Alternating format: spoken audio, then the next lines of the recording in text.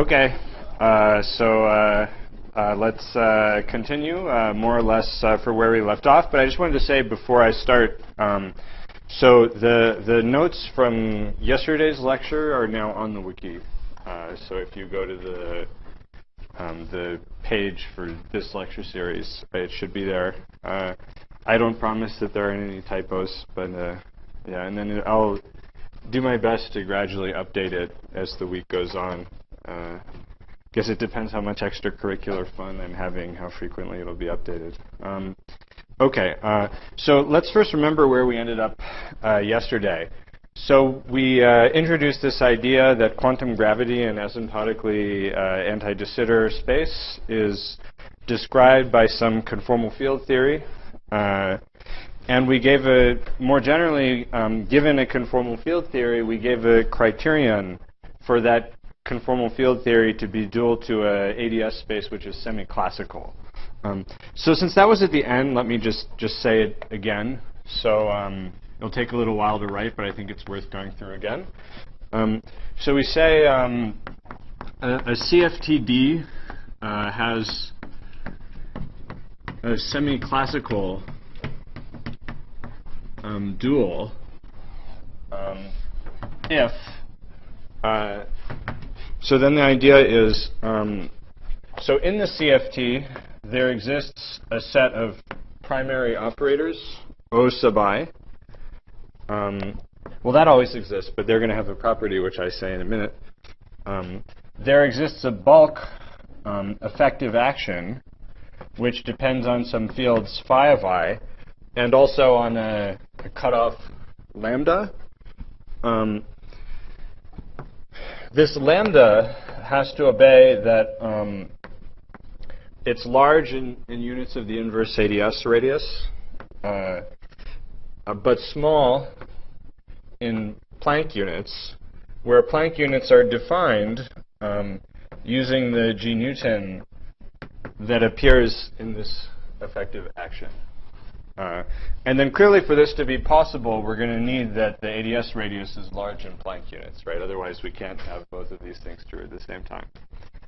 Um, uh, and then these, um, these phi i's is a, a finite set um, of bulk fields.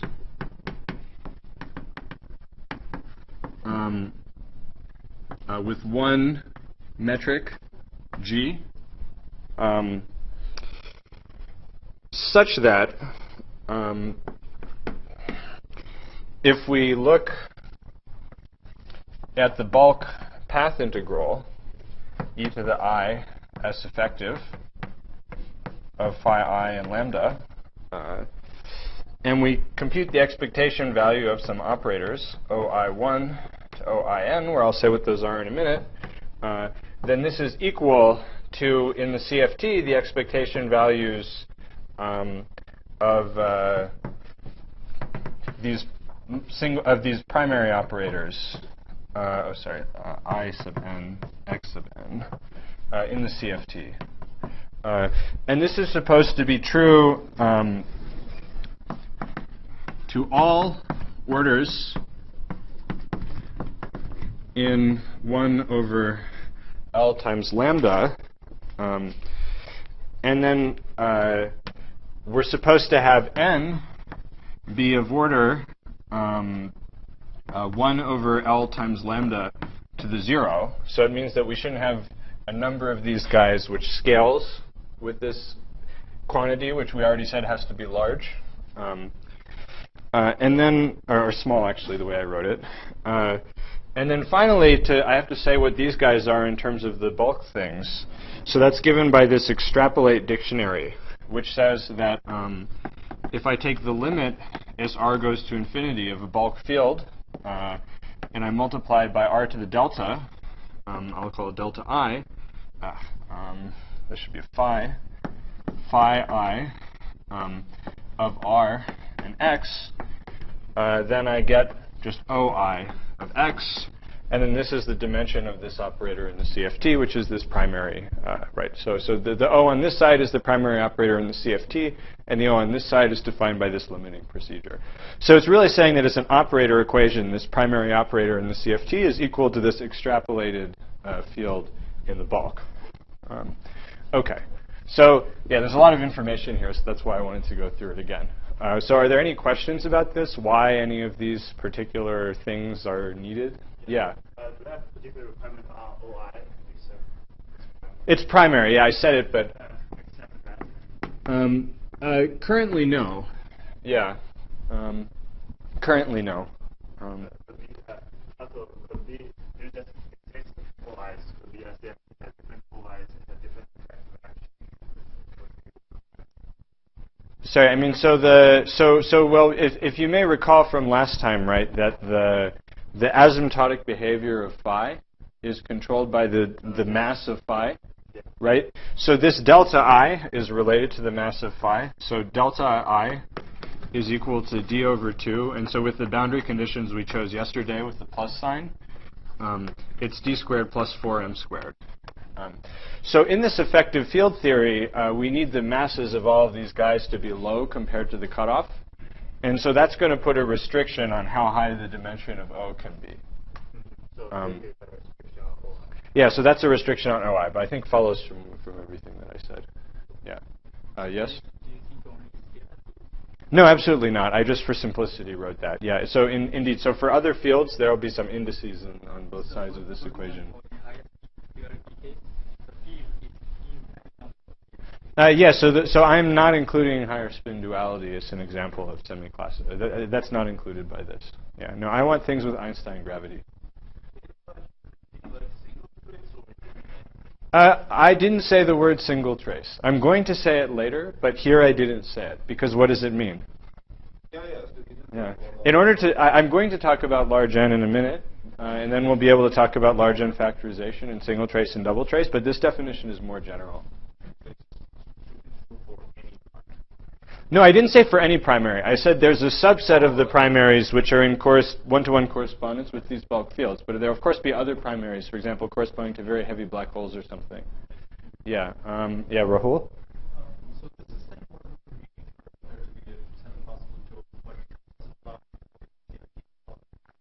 Absolutely not. Yes, and we're that's going to be the next thing we discuss. Yes. Yeah. So I guess there are two for first, uh, there's a finite number of operators, there's a finite number of fields. Yeah. But there's so many finite numbers, there's a bunch of Yeah, yeah, we're gonna yeah. So that's also currently not included, right? So yeah, and I was going to discuss that later. But so here, this is a situation where you just have ADS and whatever compact manifold is small. Yeah. So so n equals four won't quite be an example of this. And and so actually throughout the lecture series, I'm going to be lazy about this. So I'm going to pretend that there's finitely many fields in the bulk. I think we can modify the definitions to include the KK tower, but it just makes things uglier. Uh, so it's easier to just. Uh, I mean, unfortunately, all the examples are like that, so that's okay. But uh, uh, yeah, but I, I, I don't want to modify it in a way that allows um, infinitely many fields below any given mass. So I still don't want to allow Vasiliev, but I, I'm willing to allow a KK tower. Uh, and then probably I should respond this, modify this to say, you know, below any finite mass, there's a finite number of fields. Yeah. Um, yes.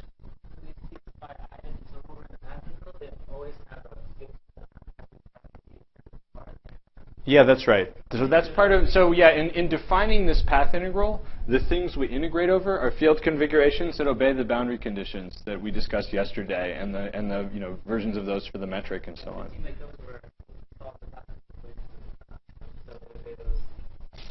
Uh, yeah, yeah. So I mean, right. But I mean, in the path integral, it, so right. So you you're allowed to integrate over configurations that don't obey the classical equations of motion, but you're not allowed to integrate over coefficient over configurations that don't obey the boundary conditions. Yeah. Um, okay.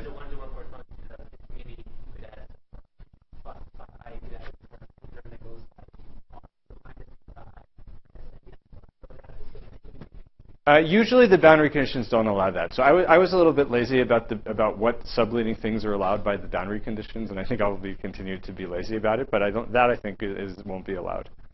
Yeah. Um, yeah. Oh, to all orders? Well, so this is an effective field theory, right? It's a it's a Wilson action with an explicit cutoff. And so so when you do when you have a Wilson action with a cutoff, it's it's defi you're defining a theory perturbatively in one over the cutoff. And so so here this cutoff is basically g Newton, at or it's at most g Newton, or or maybe you know. So so when you do this expansion, this is like the perturbative quantum gravity expansion. Um, so you might like to call it the large N expansion. I didn't call it that yet because I haven't introduced large N theories yet. So this is a more general notion, right? And so, but roughly speaking, it's set by G Newton here. Uh, so I don't just want to work to leading order in G Newton. That's kind of the main point. This is quantum gravity to all orders in perturbation theory. Um, okay, um, good. So now let me just uh, make a maybe a few comments. So so, so there are two important um, special cases of this equation. So when you have the, so one local, one primary which always exists in the CFT is the energy momentum tensor, T mu nu. Okay, and then uh, that will be dual th through a version of this equation which has a few more indices um, to the metric field in the bulk. Okay, so and, and that, as we said, the metric always exists. There's always one metric, and there's always one energy momentum tensor. Um, moreover, if the CFT has a global, a continuous global symmetry, then it will have a Noether current, J mu, associated to that symmetry. So that will be something that can appear here. And then what we get on the bulk side will be a gauge field uh, with a gauge group which is specified by the, by the algebra of the, of the currents. Um, well, up to topology. Um, so let me just say, so one check, so we could say, is this a reasonable definition? Um, so one nice check of that, which you should all do if you haven't already, um, check, um, is you take our free scalar theory in ADS that we discussed yesterday, um, and you compute the two-point function uh, in the bulk um, of r x um, phi r x prime. Uh, and then take the limit as r goes to infinity, uh, multiplying by r to the 2 delta. Okay? So, so this is just a, a free field theory com a computation in the bulk to compute this thing. It's a little bit non-trivial. The answer is a hypergeometric function. Um, but OK, at some point you have to learn about hypergeometric functions. So this is one good point to learn about it if you don't already know. Um, and then you just check that when you take this limit, um, what you recover is, is the standard CFT two-point function um, on, uh, well, so if you want to be fancy, you can do it on r, time, on r times SD minus 1. Uh, so this is actually done, so it's not done in the notes that I posted, but it's sketched in my Jerusalem lectures from several years ago, which are on the arXiv. So if you need help doing this, you can look there, and hopefully there will be enough information to figure it out. But I, I encourage you to do it if you haven't. If, if the r times SD1 minus 1 you don't like, then you can do it in the Poincare coordinates that Joanna talked about earlier, and the calculation a little bit easier. Um, and then you can do a conformal transformation to get this one. Um, OK. Um, good. Let's see. Uh, don't want to say anything else. Um, all right. So so good. So so now let me get back to Rahul's question. So okay. So this tells us what we um, what we want. Um, but but but it, so far it doesn't tell us what we can get. Uh, so one thing I can say is that we do have examples of theories that obey this. So the um, Joanna talked this morning about the um, SUN Yang-Mills theory with n equals 4 supersymmetry in uh, four space-time dimensions. Uh, so that one you can more or less prove obeys all of these things. Uh, there, there's a little bit of well, so, so to be, maybe to say a little more explicitly, or you can, so the spectrum of the chiral uh, BPS operators um, gives you these phi i's. Uh, you can, in some simple cases, you can check the correlation functions explicitly, uh, and then you can, uh, uh, using the large N technology I'll talk about in a minute, make a decent argument that it should work for all of the correlation functions. Uh, it hasn't quite, I wouldn't say, been totally shown for literally every single correlation function. Um, but anyways, that's just some example. And so what we'd really like is some more general criterion on conformal field theories, uh, which is necessary and sufficient for the conformal field theories to obey this. Right? That would be nice. Uh, unfortunately, we don't really have such a criterion in general. Um, we don't yet know, you know, just starting from the, you know, abstract data of the CFT, what is a necessary and sufficient condition to have a semi-classical dual. Um, what we do have, however, though, is a very promising sufficient condition, uh, which is that the CFT is what's called a gapped large N CFT. So let me uh, explain that a little bit. Um, trying to think. I might want to. I think I want to start on a new board actually. So another one of these long definitions. Sorry, this lecture there are a couple of these. Um, so okay, so here's another definition.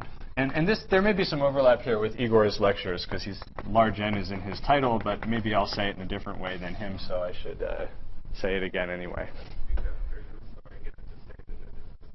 That's true. Yeah, right. And you can you can say if I make a mistake. Um, okay, so the definition is uh, so um, a gapped um, large N CFT is really um, it's a family of CFTs. Um, so it's a little bit grammatically incorrect, but this is the standard terminology, so I'm sorry. Uh, is a family of CFTs labeled um, uh, by n, some parameter, uh, a positive uh, real number, um, such that, and then we need a list of things to be true. Okay. Um, so the first thing we need is that um, there exists a finite set of um, single trace uh, primaries um, O sub i, um, which uh, obey the um, condition that if we normalize them so that the two-point function, OI, OI, um, is order n to the 0, um, then the three-point function, OI, OJ, OK, um, is, uh, well, let's say less than or equal to, um, in a scaling sense, so not worrying about the coefficient, 1 over n to some power which uh, I will parameterize in a kind of funny way. So I'll call it uh, pound over 2. Pound is a little weird. Maybe I'll call it alpha over 2. Pound is kind of bizarre. Okay, alpha over 2. Uh, so, so this means that the, the three-point functions of all of the single trace operators are parametrically suppressed in n. Right? So that, that's not something that usually happens just you know, for no good reason in, in CFT. So this is a fairly strong restriction. Well, at least on these on, on, these single trace primary operators. Okay. Is um, alpha supposed to be fixed for the whole family, or is it just? Uh, yeah, yeah, yeah. Sorry. So I should say an alpha. Alpha is a fixed thing, which is order n to the zero. Yeah. And yeah, yeah, yeah, yeah. Uh, absolutely. um, okay. Uh, so okay, good. So that's the first requirement. Um, The second requirement is that um, there exists exactly one um, single trace primary, STP, uh, um, with uh, spin 2 and scaling dimension d, uh, which is T mu nu, the stress tensor. Um, and moreover, um, TTT uh, goes like um, 1 over this uh, n to the alpha over 2 uh, with a, with a non-zero coefficient. So, so in general, there might be some symmetry or something. These guys might actually be smaller than this. So I, I haven't necessarily really defined this alpha yet, but here it's really defined. So in the three-point function of the stress tensor, uh, you have this scaling uh, with a with a with a finite coefficient on top of it. Um, okay. Um, good. Can I fit one more here? I think I can fit one more. Okay. 3. Um, for any collection, um, OI1, OIN of single trace primaries, um, there exists a multi-trace uh, primary. Um, O I1 IN um, uh, with um, delta I1 IN equals delta 1 plus uh, I1 plus delta IN um, plus uh, something that's uh, higher order in n. So, so, and this is also a very strong requirement on the CFT, right? Like usually if you just take two primary operators, you, you don't expect there to be another primary whose dimension is just the sum of the dimension of those two. Okay. Um,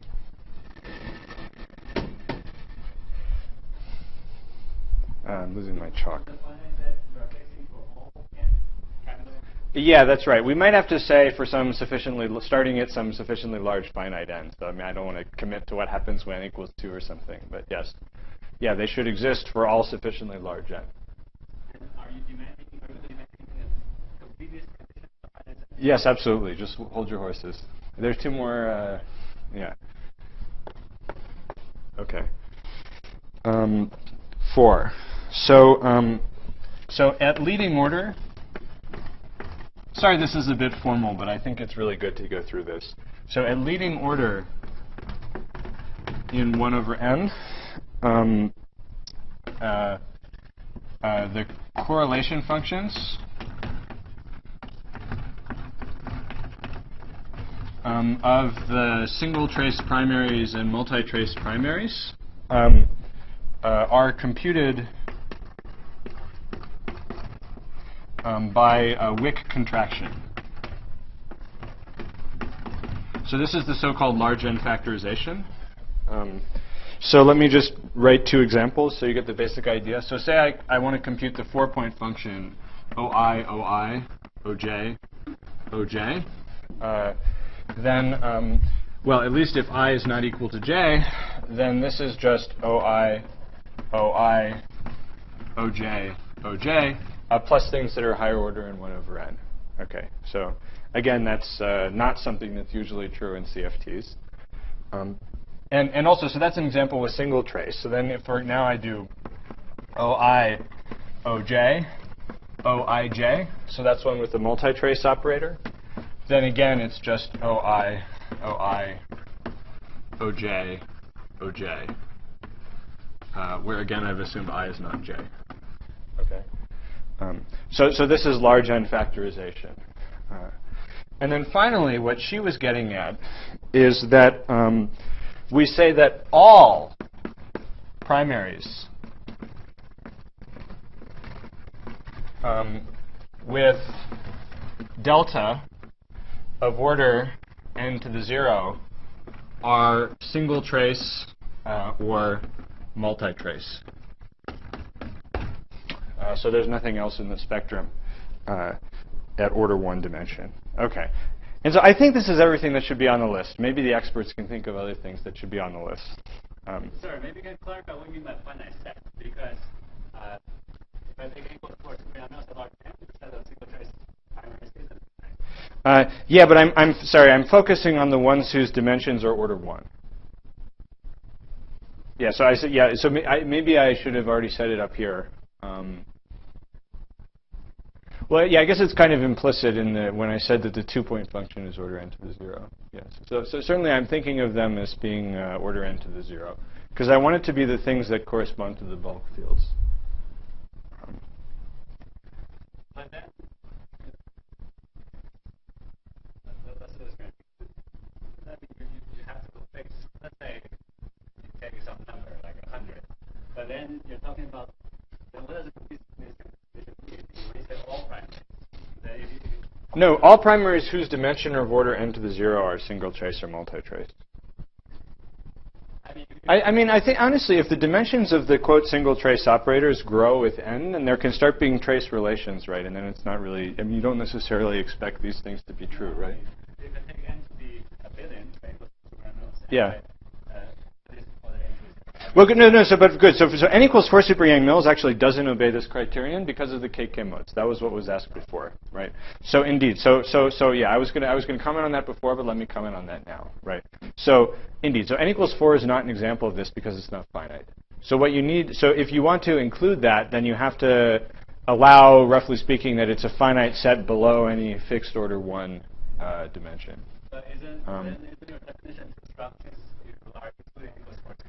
Uh, uh, no, no, no. But it's it's. But I, right. Let me think of how to say this. Right. So I'm I'm trying to give the sort of skeleton of how the duality works. So the simplest kind of holography you could imagine is one where you don't have this extra compact manifold, where where all the large dimensions are in the ADS. Right. Now it's true that we don't happen to have examples of that, but nonetheless, this is a set of theories that we study all the, or a, you know, conjectural set of theories that we study all the time. If I take those copies of 100, and, and the extreme modes of order, uh, dimensions of order No, but no, that's also excluded here too, because I mean, because because um, because if the 't Hooft coupling is of order 100, then their interactions that are stronger than gravity. So, what? Uh, well, that depends how that. Or sorry, that depends the limit you work in. So, you want to work in the. So so okay. Um, no, yeah, that's definitely not an example of this, right? I mean, no, I think I, th- I think uh, yeah. Um,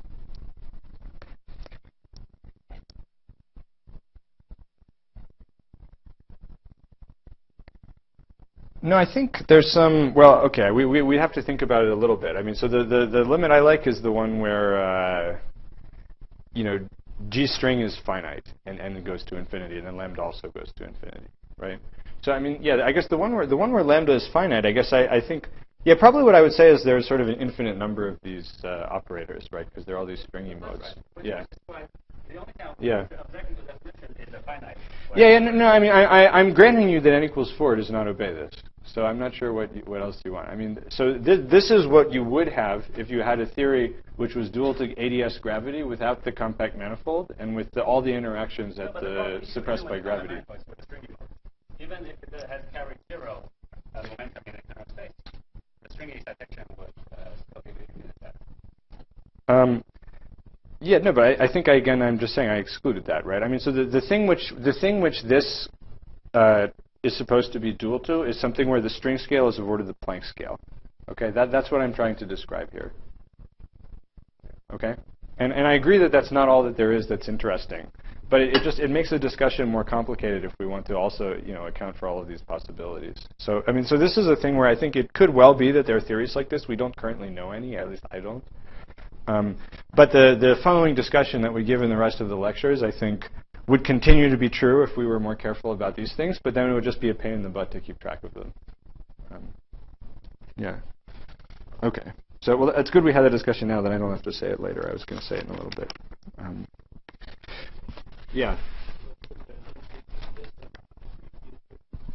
Um, Good. So, so well, yeah. So, in, in a free field theory, first of all, um, the stress tensor correlate three-point function is order one in the in the in the limit where uh, where the, in the normalization where TT is also order one. I mean, it's just order one. There's no n around, right?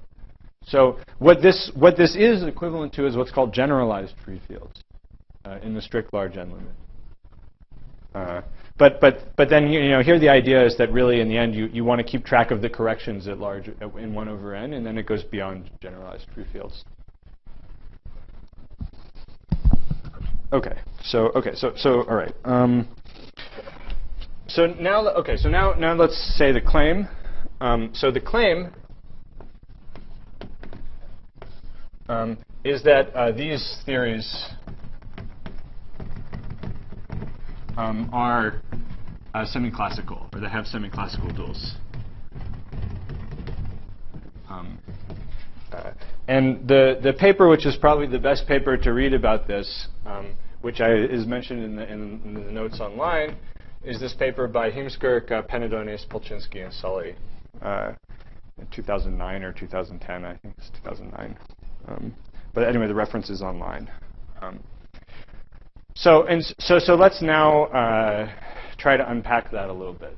So, so the basic idea is that um, these, uh, these single trace OIs indeed are the OIs that we had over there, which correspond to the finite set of bulk fields. Um, then, um, if we look at the three-point function of the stress tensor, in the bulk, that corresponds to the gravitational interaction, right? So, so in the bulk, this is of order square root of g. So this tells us that um, that uh, g is of order uh, 1 over n uh, to the alpha. Um, so this tells us the interpretation of uh, n uh, from the bulk point of view. It's precisely this g Newton. Um,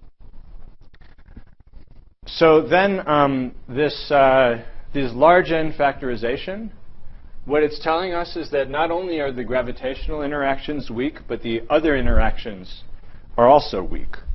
So for example, if you instead look at the three-point function of a scalar, you know, uh, O, O, O, in the bulk that's phi, phi, phi, and then this is telling you that, for example, if there's a scalar three-point vertex there, that also needs to be suppressed by some power of n. So, so the theories that these would be dual to are kind of very simple theories in some sense from the bulk point of view because if you like, there's sort of no interesting particle physics. All of the interactions are, at the are suppressed by G Newton. Um, you know, there's no alpha equals 1 over 137. Uh, whereas, whereas that would have been allowed by the general def definition over here. Um, Okay, so so so that suggests you know what the properties of this bulk theory would be, but right, but I mean what the claim really says though is that this is not the property of the large gap. This is the general large gap. Uh, this, yes, yeah, yeah, yeah, that's right. No, but the the the, the large gap uh, is there to you know for so that there's a finite number of fields, um, and that I mean, well, let, let me finish what I was saying, right? So so, so, so this, these are the properties that if a, if a local bulk theory existed, right, then it would have these properties. But what the claim really says is that given a CFT, which obeys 1 through 5, we can actually find this S effective, this local bulk effective action, whose correlation functions reproduce the correlation functions in the CFT. And that's the thing that wouldn't be true without the gap condition.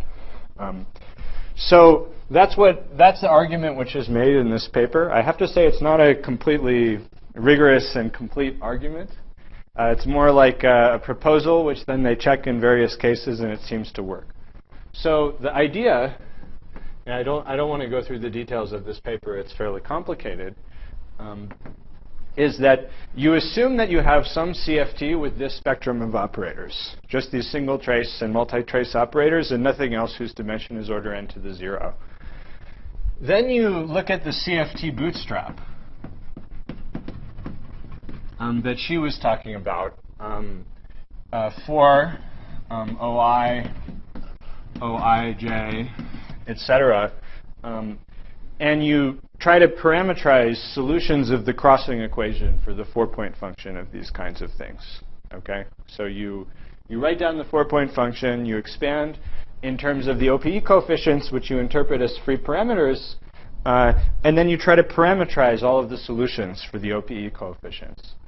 And then what is shown in this paper, at least in some special cases, and I think is probably likely to be true in general, is that all of the parameters in the in the bootstrap solution for these operators um, are in one-to-one correspondence with terms um, in S effective of phi i and lambda. Um, so, so any, any, any solution of the bootstrap for the O's which obeys this n scaling and has the gap is, is going, you're going to actually be able to find from that this S effective um, such that that's true. Okay. So, so far you haven't made any statement about how fast the gap grows with n. Do you need such a statement? Like to scale like n to some power? I mean, Good. All parameters of n zero, but, but when, when does that fail? Yeah, so I, I think uh, I, I'm not. Yeah, I'm not, I, I was wondering about that. I'm not sure if I can give you a completely convincing argument about that. I mean, it should be some power event, but yeah, but whether the power should be related to the power that to this alpha is something that it's less clear to me. It could be that there's an intermediate scale. Um, but I, I, yeah, I'm actually not sure though because well, it depends. So he, see here, I assume that the th- the OPE coefficients of the O's are suppressed with the same alpha that appears here. And so then I guess I would be a little bit skeptical if you could have the gap be lower than the Planck scale and, and still satisfy this. Now, in, in any But I'm not actually sure. Yeah. we know that properties such as M2 brane theory. Yeah. I think we don't actually know how the gap scales with N. Um, well, let's see. So in the M2, so of course in the M2 story there is the there's the KK tower which we have to split out. But I th- yeah, good. So that's a great question. So I, I thought that in the M2 brane, the ABJM theory, that Well, the K equals one yeah, K equals one ABJM. That the I thought that the the gap is supposed to go up to the Planck scale. I don't know. In principle, that can be studied. Well, I'm not sure. I'm not sure if that's Yeah, I'm not sure how you can study. I mean, you can't study that with integrability, so I'm not sure. I'm not sure how you would show that. But I think that that's the lore. I mean, I think from the bulk point of view, that's what you expect, right? Yeah. So then, so then, if the duality is correct, then it must be true. But I, I, fine. Yeah. I mean, you you could, I suppose, in in that theory with the n scaling of the operators you know about, study the bootstrap and try and show that that that that, that kind of needs to be the case. But I'm not sure. Um, okay. So. Um, So, so in that case, I I think that the fun power is some some funny fraction power of n, right? I think- okay, so I think. uh, like three halves or something. Yeah. yeah, I'm yeah. saying that that power seems Yeah. to be hard to infer directly, knowing all the things you wrote out for. So I do the. I don't know. I thought if you know the TTT, I mean, you know, right? I mean. Yeah. If you know TTT, you know G Newton, right? So, yeah. Um, okay.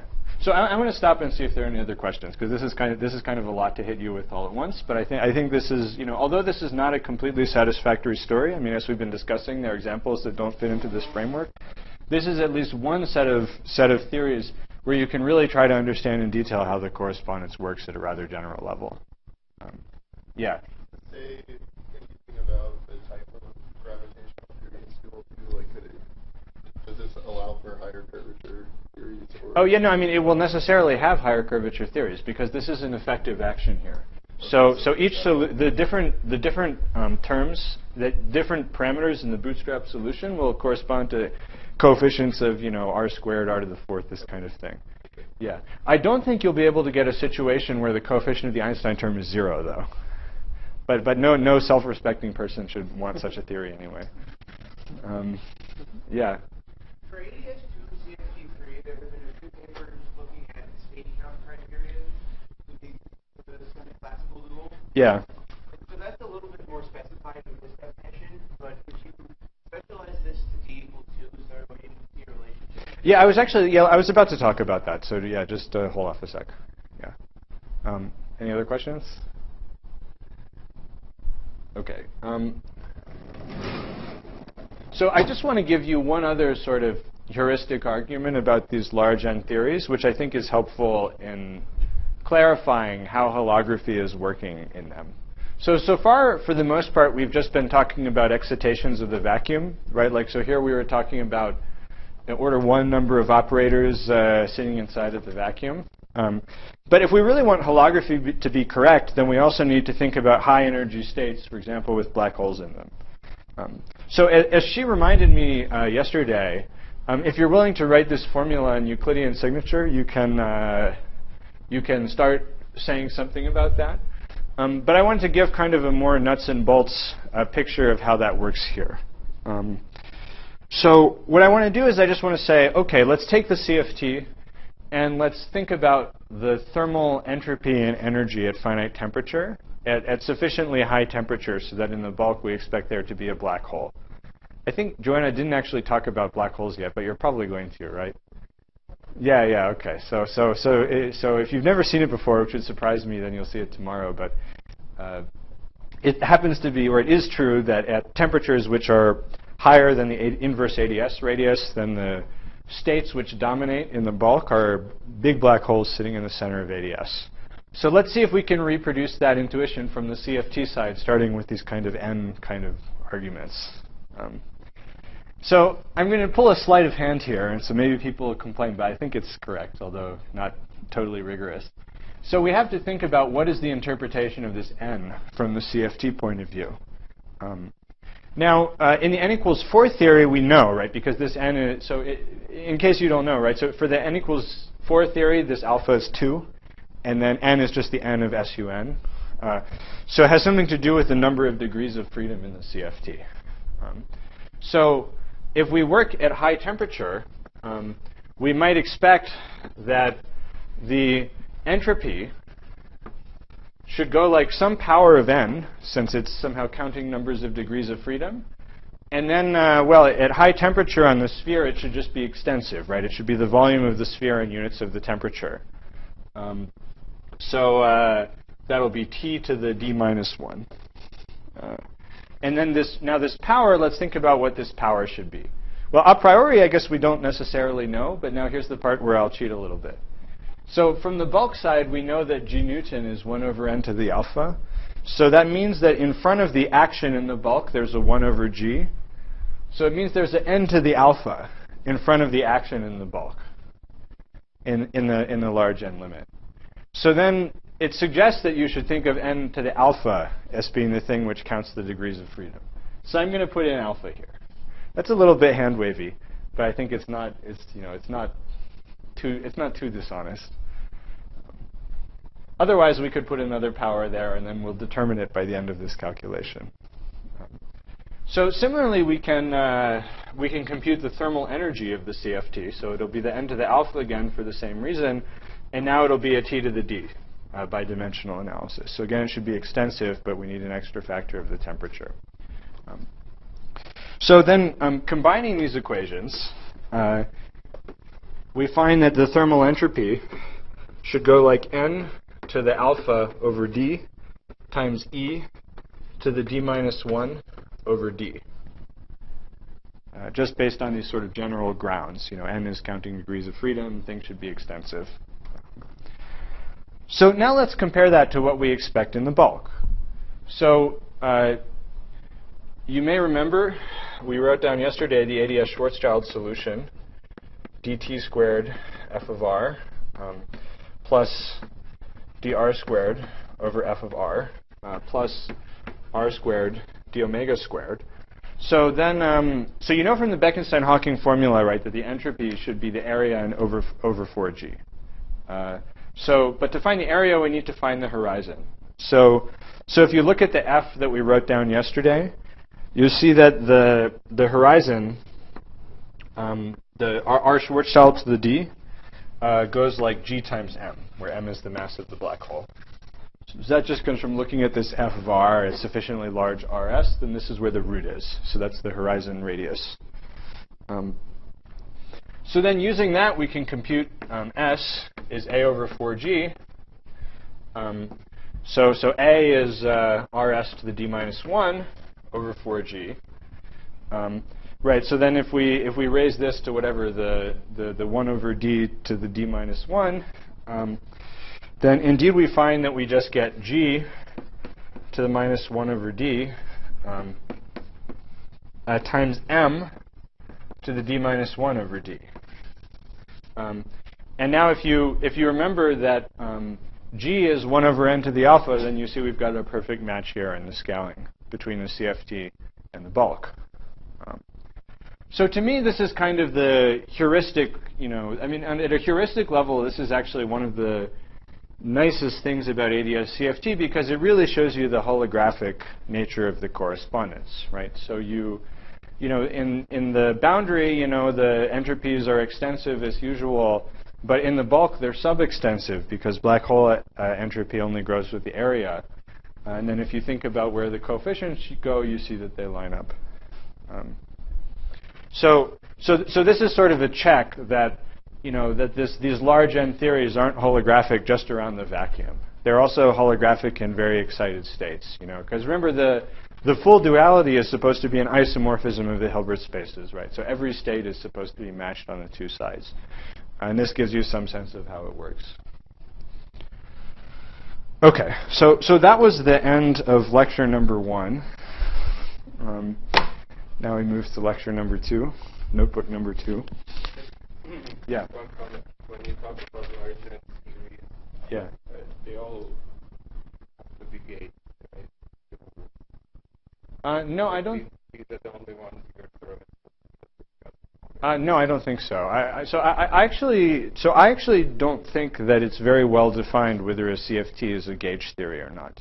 But you- you're saying that there is some or Jordan symmetry. and- No, but I didn't say that. talking about- You're only talking about single trace. No, but I defined I defined all the terms here, so I, n- I never had to use any matrices or vectors or anything. The, the the the thing that I used to define it was large n factorization. What I'm saying is that if you start from a CF space and you try to define a large N series this way, Yeah. you will never end up with an ungauged ON model. Um, Because that has operators that are not single, neither single trace. Yeah. Like No, I, I agree. That, I agree that the ON model without the constraint is not a large n theory according to this definition. Um, but I don't. I don't want to say that the only holographic CFTs are gauge theories. I, I, that, that's not a statement I want to make. I think we can define the, all of the, the, of course, the, the historical origin of these terms, single trace and multi-trace and large n, comes from gauge theory. But I, I hopefully it's clear that the definitions which are important for reproducing holography do not need to use this gauge theory language at all.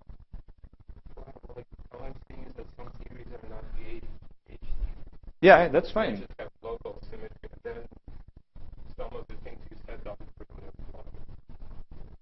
Yeah, but I just like as- the separation into single trace. Yeah, sure, but I just assumed that the CFT has these properties, right? So the only, I mean, I didn't, uh, I didn't, I'm not talking about any particular CFT. I just, you know, I, I just have some CFT which obeys these things. Lots, lots of things, but- Yeah, of course, but there are lots and lots of CFTs which aren't dual to semi-classical gravity, right? So, sorry. I mean, the Ising model doesn't obey this either. Is there a family of CFT that actually obeys your criteria? I, I don't have a concrete example. Yeah. Yeah. Yeah, but if, if we slightly modify it to include the KK tower, then there will be. Yeah. Yeah, I just, you know, that's just to be, that's just to make things a little bit easier. I, I don't think that's morally dishonest. Um, that, they only look at the that Nope, everything would go. no, but I don't know what that means. I, I, don't, I do not know what it means for a CFT to be a gauge theory. You give me the OPE coefficients and the operator dimensions. Uh, is it a gauge theory? I don't know. I mean, gauge theory is something about the unphysical Hilbert space, which doesn't exist. So I don't. Well, like if there are generate multiplets of operators, then Well, that just might be because there's some global symmetry or something, right? I mean, I, I, I really don't think that it, I mean, gauging is a redundancy of description, right? It's not a fundamental property of the theory. You know, I mean, in we, you know, we can talk, you know, when things are weakly coupled, you can talk about having massless photons and so on. But you know, in some CFT on the sphere, I don't. Yeah, I mean, I mean, as you know, right, there are dualities which change the gauge group, right? So I mean, it's not a, you know, it's the same theory. So somehow, there can't be that much physics in this gauge group. like if you're at large n and you have, uh, you can, for example, you're excluding theories that have multiplets whose uh, dimensions grow as n to some power, right? That you're excluding. I mean, I'm fine with excluding like, multiplets of including multiplets of SQ4, but not multiplets of ON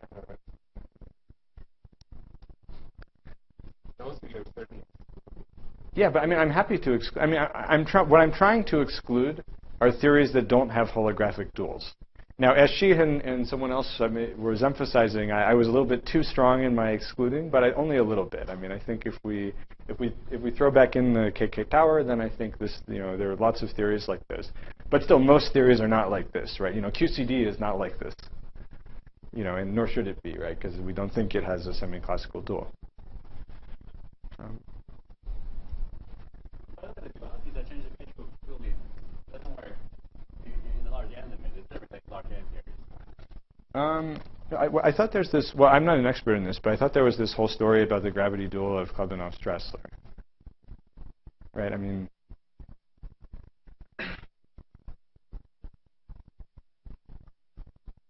I mean, I should leave that. I should ask you guys, but I, I, I thought I thought you can have, uh, you know, Seiberg dualities at large n. Yeah. Yeah, I understand. Yeah, yeah, sure. These are some really interesting discussions. Yeah, sure. Maybe we should- Fair enough. Fair enough. Okay, so so so that, that that was that was all I wanted to say about this sort. So that that was the end of the sort of overview of holographic theories and uh, ADS CFT dictionary and so on. Um,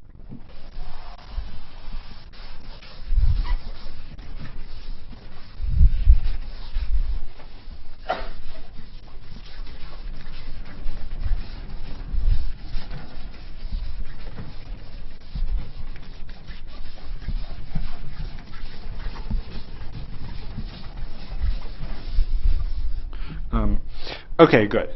Uh, all right, so so now let me go on. So so so far, what we've been talking about is um, the observables we've been computing are correlation functions of local operators in the CFT. Uh, so correlation functions of local operators in the CFT, as we just discussed, um, are related to sort of scattering type questions in the bulk, where we act sort of with a bulk local operator here and maybe another one there, and then you know stuff evolves in or something, uh, and then at some later time we, we put in some more local operators, you know, and, and we sample what, what came out of the scattering. So, so the, these boundary correlation functions um, are like uh, are, are like you know the S matrix in flat space somehow. They're and and a great advantage of them is that you know even though there's quantum gravity or whatever going on in the bulk, these boundary correlators are very well defined. Because out near the boundary, the boundary conditions sort of ensure you that nothing too crazy is going to be going on, and so these, these, these, these observables are going to make sense, if you like, in all the states of the CFT. Um, so it's nice, but it's also a little bit unsatisfying because, well, if we really understood this duality, you might think that we should be able to ask about what's going on right in the center. We shouldn't have to wait until whatever happened in the center, everything comes out, and then we see what happened.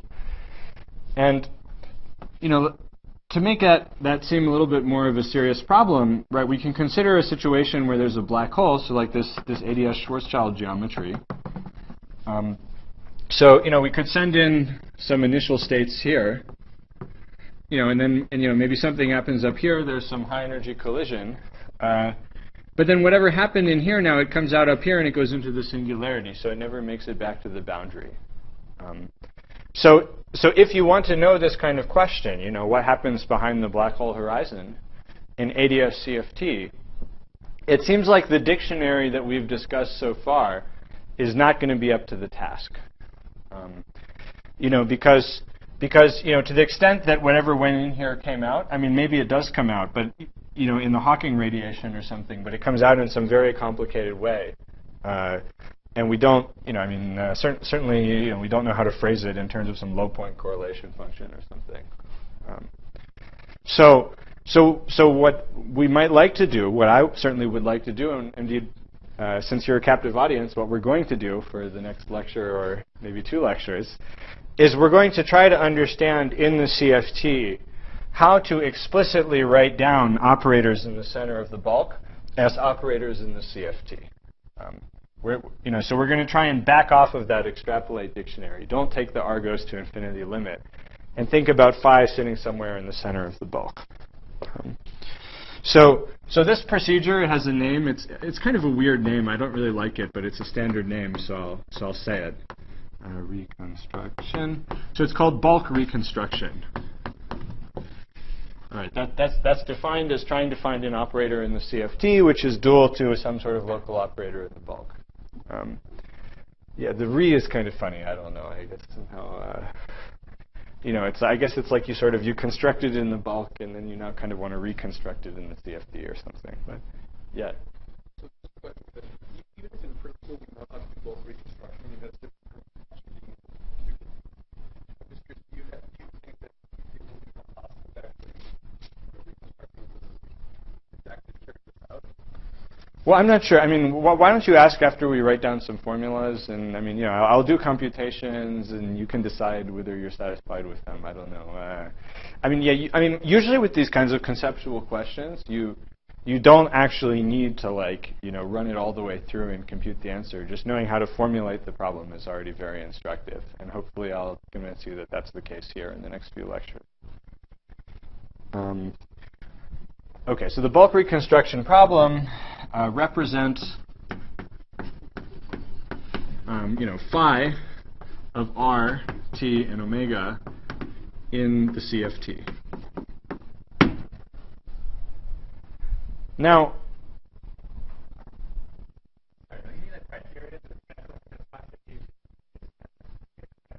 yeah, of course, of course. You, you know, you can't just write down whatever you want, right? No, I mean, yeah, yeah. The lecture's not stopping here. Don't worry. Um, so, but, but, but, but before we try to do it, there, you, there are probably some complaints that some of you are already mulling over. So let's let's get them out in the open so that we're all on the same page. Okay, so so so let's let's consider some complaints about this this uh, proposal. Okay, so complaint number one is that phi of r, t, and omega um, is not uh, gauge invariant. Right, so in the bulk we have a diffeomorphism invariant theory of gravity. Uh, and local operators, what do they mean? I mean, what does this r and t and omega mean anyways, right? I mean, we somehow, you know, chose some random coordinates in the bulk, but that can't mean anything. Okay. So, um, so this is a thing that we have to consider.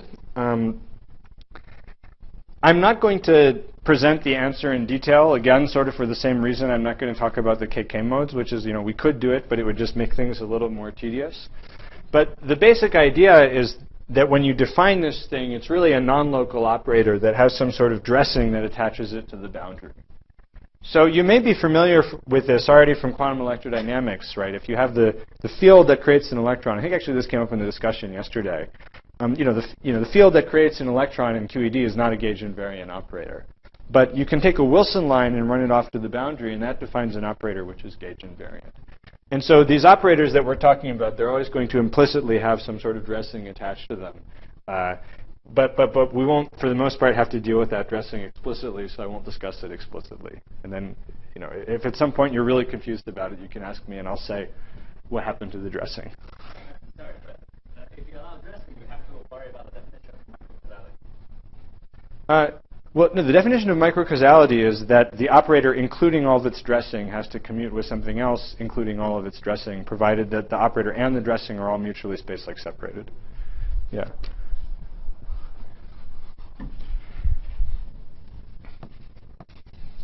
Okay, so that's complaint number one. Um, complaint number two uh, is, um, you know, uh, well, um, we know that entropy goes like area, as we just discussed. So, um, so there can't be some, you know, bul- some, you know, non-perturbatively some, some, you know, some fields phi, you know, phi of, of x and some, some action which is local in the bulk. Okay. Um, and uh, well, we've already sort of got some sense of Right. I mean, in, in, some some deep sense, this is true, right? I mean, you know, gravity is holographic. It's not true that you know all the states in the CFT are described by some local action in the bulk, right, where where stuff is an integral over d plus one dimensions. Um, but we've sort of already been discussing that at some length here, right? So, so what we what we what, a, way of formulating what we said is we said there's a set of states where you take the vacuum and you act with sort of not too many of the uh, phi's or the o's, and in that subspace uh, you, you can expect, and actually you can even construct, this local bulk effective action. Um, but then, you know, if you get to sort of too many, uh, too many states, then you run into this black hole territory, and the, and the, the description in terms of the bulk effective action becomes more subtle. Um, so, and, and that's the thing which actually we're going to try to understand in a lot more detail as the lectures go on. Um, but you know, if you're worrying about this already, don't worry. I mean, it's an important thing to worry about, and, and this is ultimately the thing which tells you that this bulk effective field theory that you reconstruct is only going to be perturbative in 1 over n. You know, it's not really going to be a, a non-perturbatively precise thing. Um, but to all orders in 1 over n is pretty good. If you compute what is e to the minus 1 over g in our universe, it's pretty small. Uh, certainly we haven't uh, probed it experimentally. All right. Um,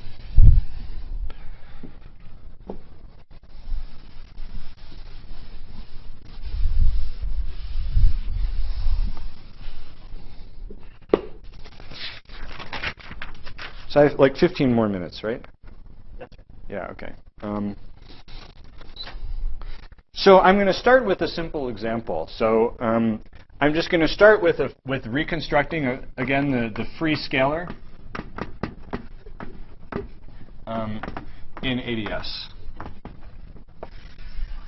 So fortunately, we already studied that theory yesterday.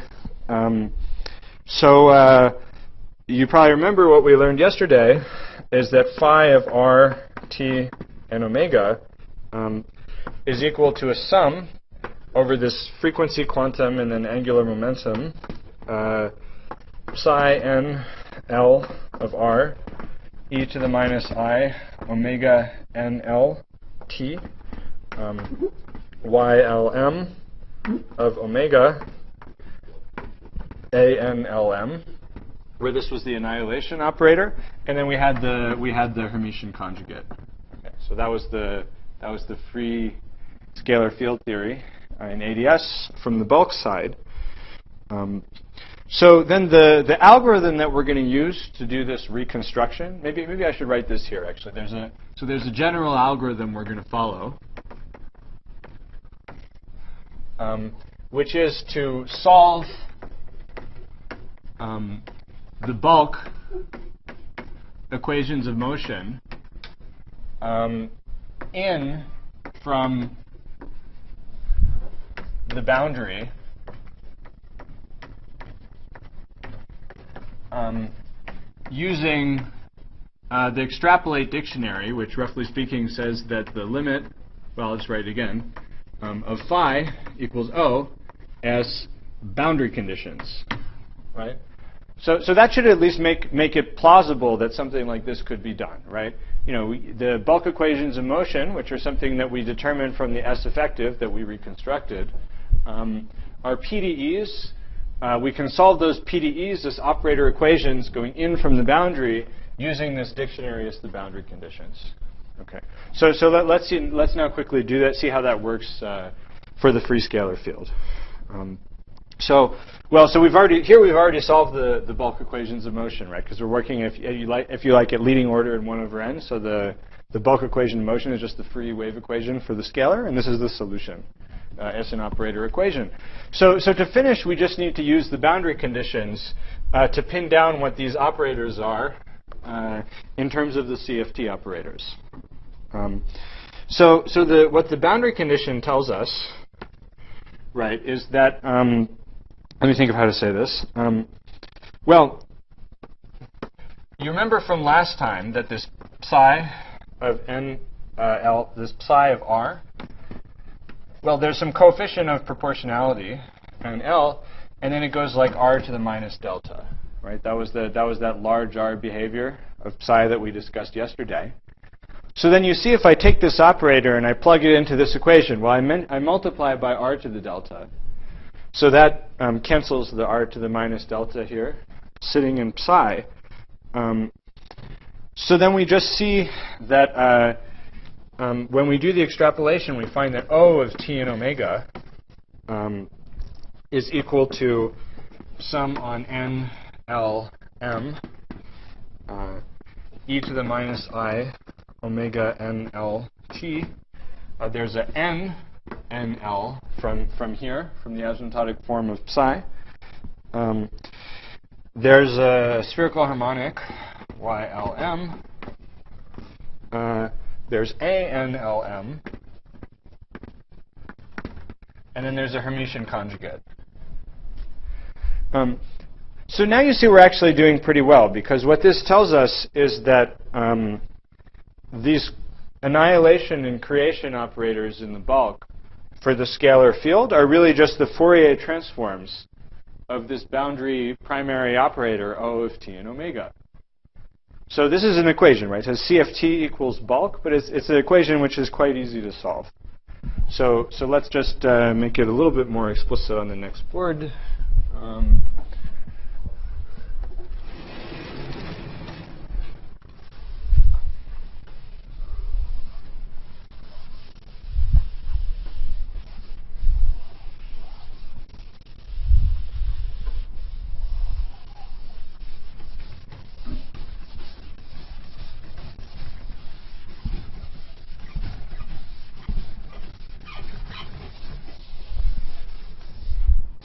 Okay. Um, so by uh, by doing the Fourier transform, what this tells us is that um, the uh, so say I say I, um, I integrate say from minus pi to pi dt um, e to the i omega n l t. I integrate the omega y l m star of omega O of t and omega. All right, so I can, uh, this is just a definition. Uh, then, um, well, using this, right, I see that this is just going to be equal um, to uh, n, uh, nl, a, n, l,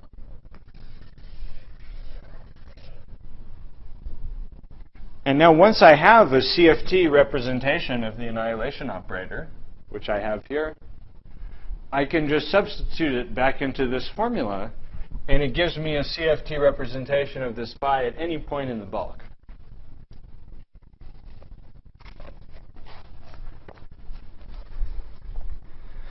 Um, in fact, we can we can even make it a little bit so so we you know if you don't like momentum space, we can we can go back to position space now, and we can rewrite this as saying that phi of r and t and omega is just equal to the integral minus pi to pi dt prime integral d omega prime uh, some function k plus of r t omega t prime omega prime um, o plus of t prime omega prime plus Hermitian conjugate, um, where then this k is the sum on NLM, uh, NL inverse f NLM of RT omega e to the i omega NLT prime, uh,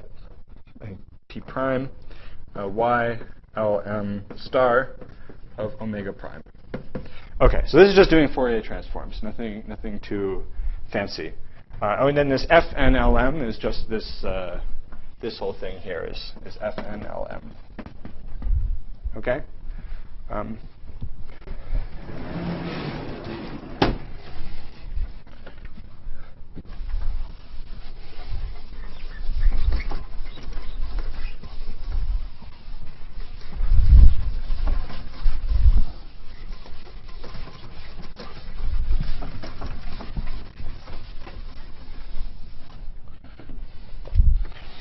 Okay, um, good. So, so this k has a name. It's called the smearing function.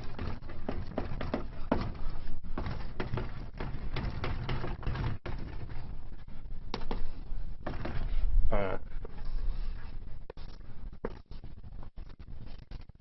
and ba basically, it says, you know, okay, so here's here's pi and here's minus pi.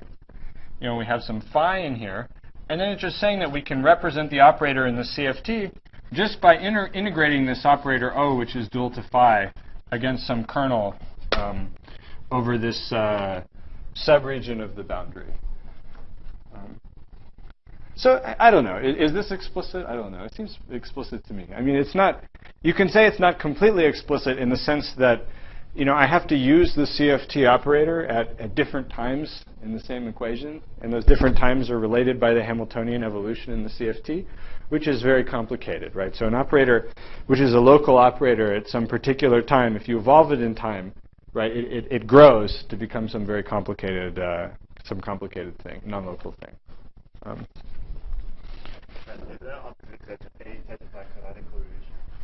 um, let me think how to say this.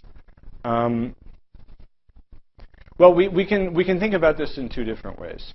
So, um, so the, the two-point function of this phi, sort of just by the symmetry, is going to be correct.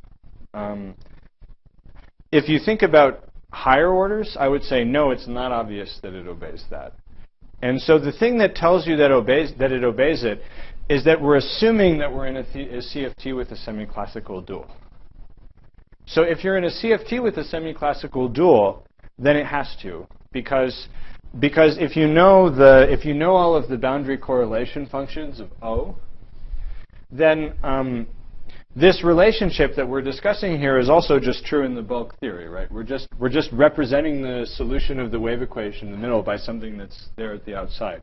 So as long as we use the right equations of motion from, from S effective, then the algebra of the operators will also be correct. Yeah, yeah. I was going to comment on that a little bit more later, but it's good to emphasize now. Um,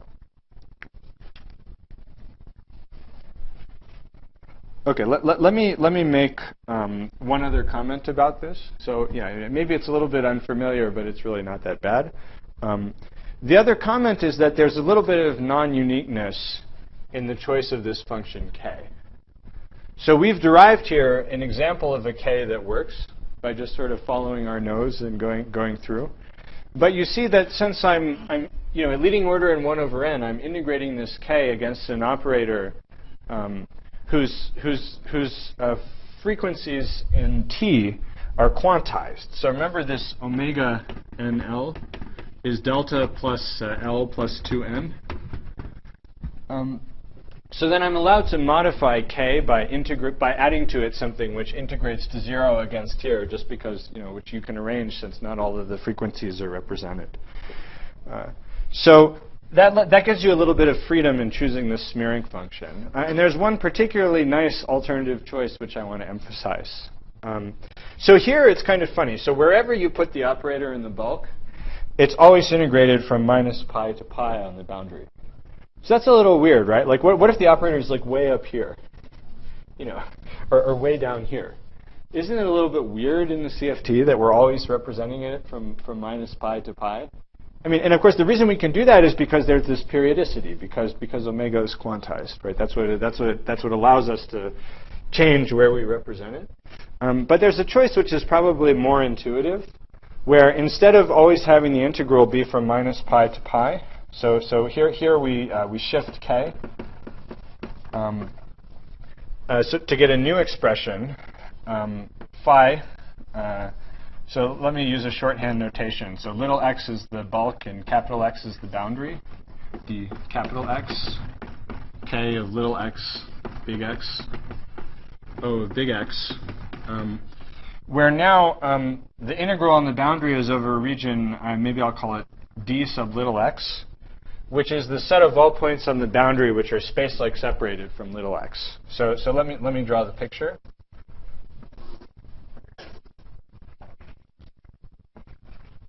Um, so say I don't know, say say little x is here. Then to get the set of points on the boundary which are space-like separated, we draw this this light cone.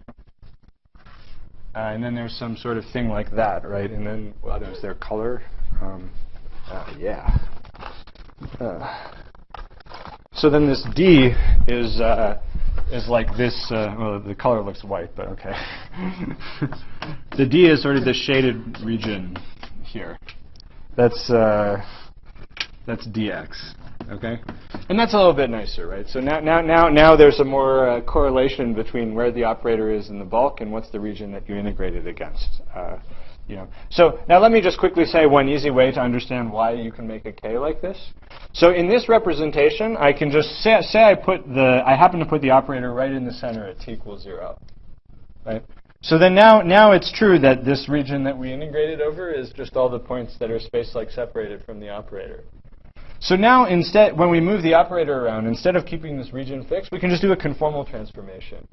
So when we move the operator, we just conjugate it by a conformal transformation, and then that will just deform, move this region around in just the right way that it'll continue to be all the points which are space-like separated from x. Um,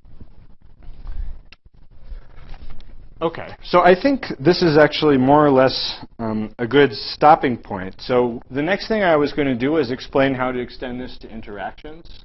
Um, so, so far this is kind of a little bit too trivial to be interesting because it's just sort of kinematical. You know, we're just uh, solving the free equation. It's all determined by conformal symmetry. We use conformal symmetry to move it around. Uh, you know, uh, so I mean, okay, what did we really learn? I mean, in particular, you know, we uh, we didn't have to use that the CFT was a large N CFT, for example. You know, we didn't have to use that you know the theory in the bulk was local right? You know, so so it, so in order to use that, you know, for that stuff to matter, we have to go to higher order and one over n and understand interactions. Um, and so the the really nice thing, which people understood, you know, last five, ten years or so, is that that is possible in a fairly nice way to to extend this story to include the interactions perturbatively. Um, so I, I think I'll start with that tomorrow, and uh, we can all have uh, caffeine or whatever now. All right, thanks.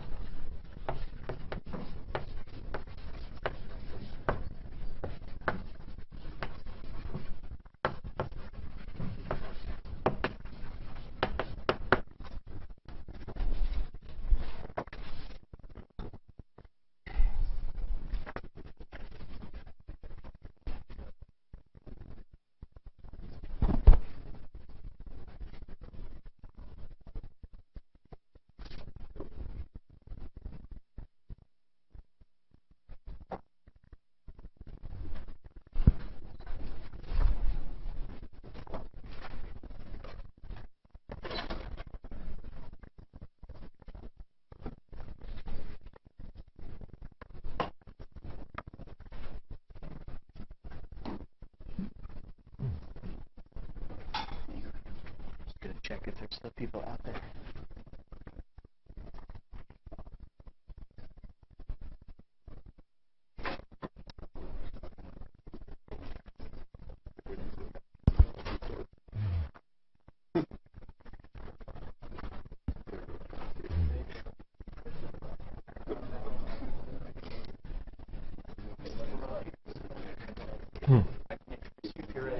Should I go ahead?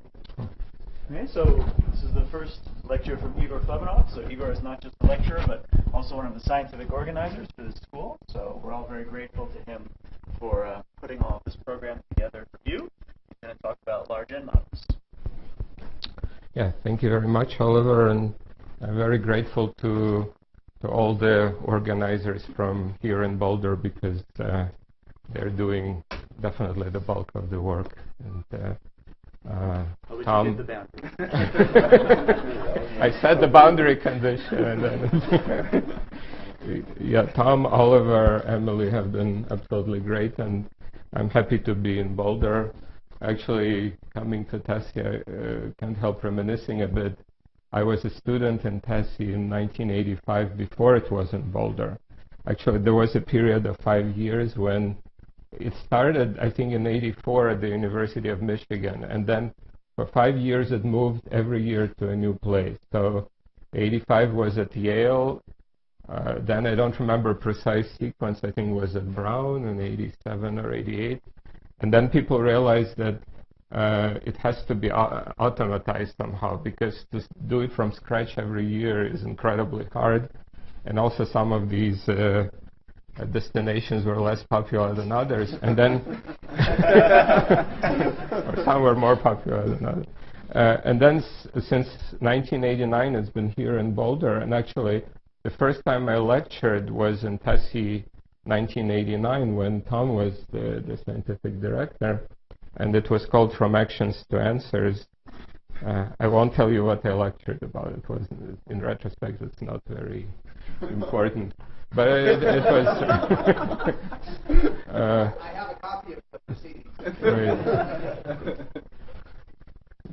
yeah, yeah, whatever. And, uh, it was about wormholes and how the cosmological constant is exactly zero, but since then we found out it's. But then definitely the highlight of my TASI career was back in 1999, which I think was the second. Which was the year that I was. Exactly. I was going to mention that this was an extremely exciting school where many lectures, so the ADS CFT uh, kind of materialized mainly in 97, 98, and then 99 there were many, uh, many series of lectures about that. It was extremely exciting, and and many of the students I'm happy to see are now professors in uh, in various nice Yeah, I think there's places. At least a dozen, I. Yeah, yeah, it was, uh, and Oliver, I remember you very well. Also, another person I remember well is Lubos Motl. no, he, he knew a tremendous amount. I mean, it was, it was clear. He, he apparently solved all the problems in Polchinski's string book, and no, it was an extremely exciting. And uh, so uh, I looked back at my TASI lecture. So uh, Johanna's lectures inspired me to remember this D3 brane perspective. So I'm not really going to talk about it, but uh, uh, if you want to read about like the thinking in those days, it's maybe a bit outdated in some ways, but uh, was uh, uh, and you'll hear more from her. But so one thing about this uh, stacking brane perspective is that you stack a large number of these three branes, and then it creates this curved metric.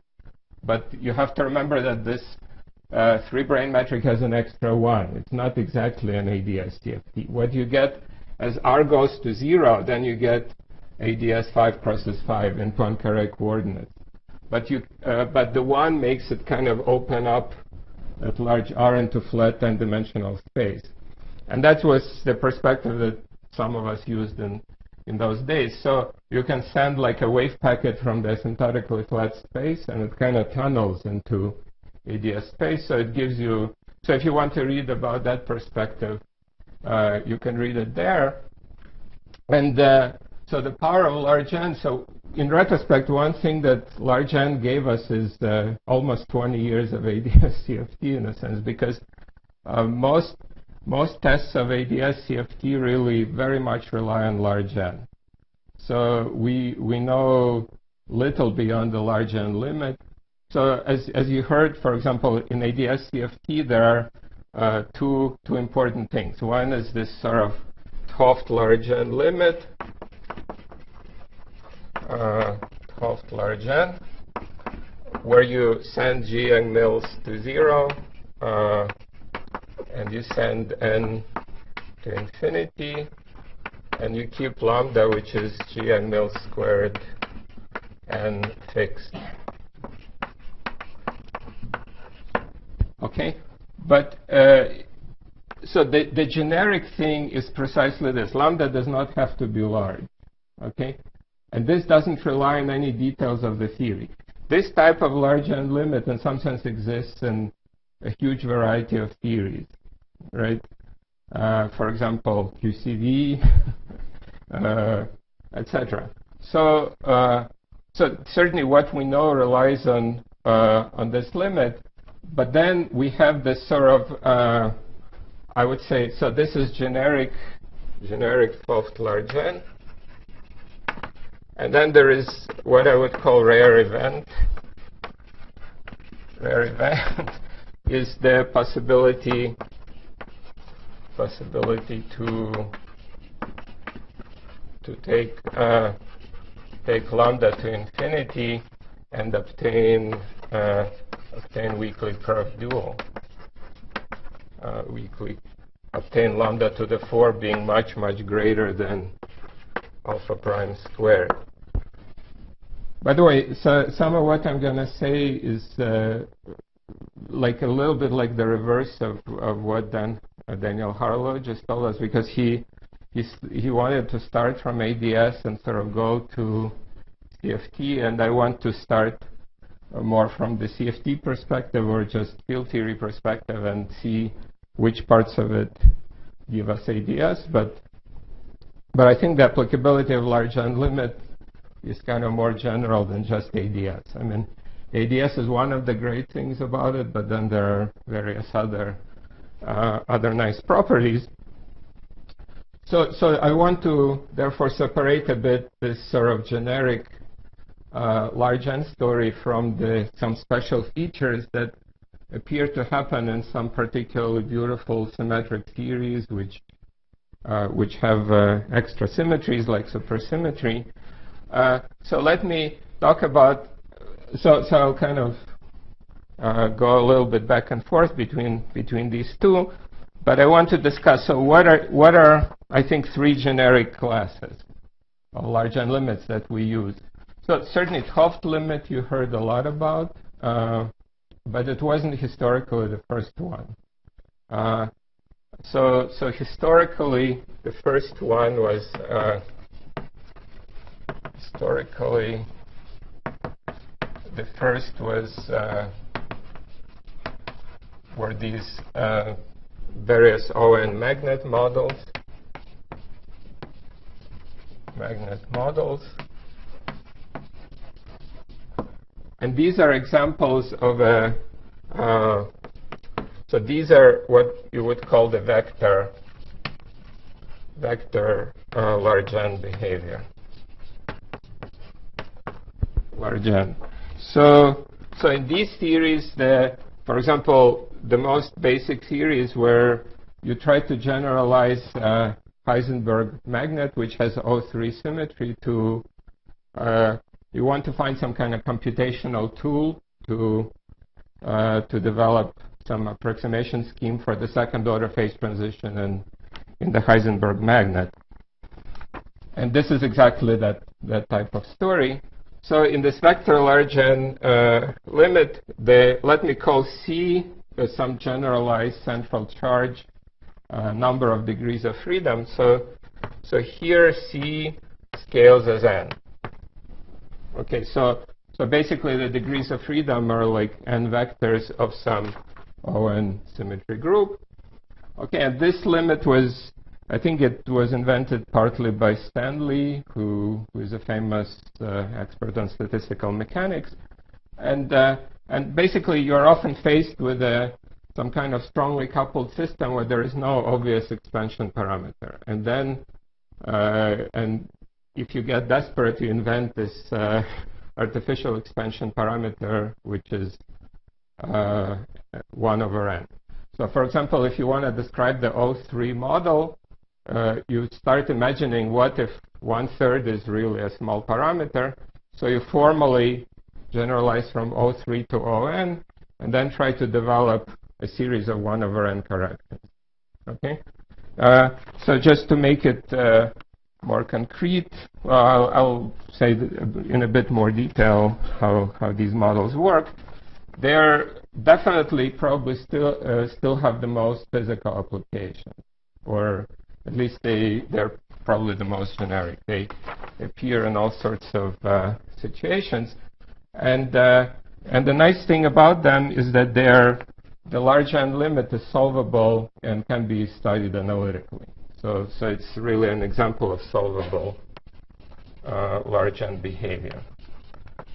1 over n expansion. For example, if you want to go to some fixed point and develop the dimension of some operator in powers of 1 over n, it can be done. Moreover, it has been done to some pretty high order. Okay, so so this I think originated in the 60s or even earlier. Okay, then uh, so it's a very beautiful and, and nice example of theoretical physics. Then then there is the 't Hooft limit, which I think uh, uh, limit. Uh, you saw examples of it in uh, uh, examples of it in the Sun-equal four super Yang-Mills, but uh, 't Hooft didn't think about unequal four super Yang-Mills. He was just thinking about QCD or generic non-abelian gauge theory. So, so one one reason it's so popular is that uh, it applies to, for example, SUN uh, SUN gauge theory. Uh, gauge theory where the the, field, the gauge fields themselves are in the adjoint representation. Joint. Uh, in other words, you, you just have a mu, one upper and one lower index. Uh, and this you can call the, ma the matrix large n limit. So you can call this the matrix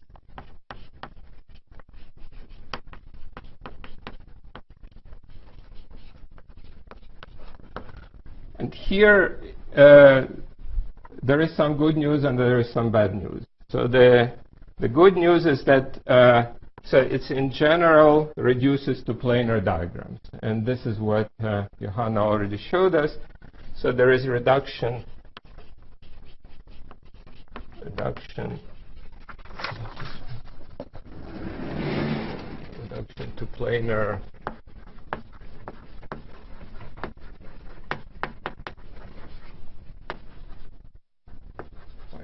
graphs,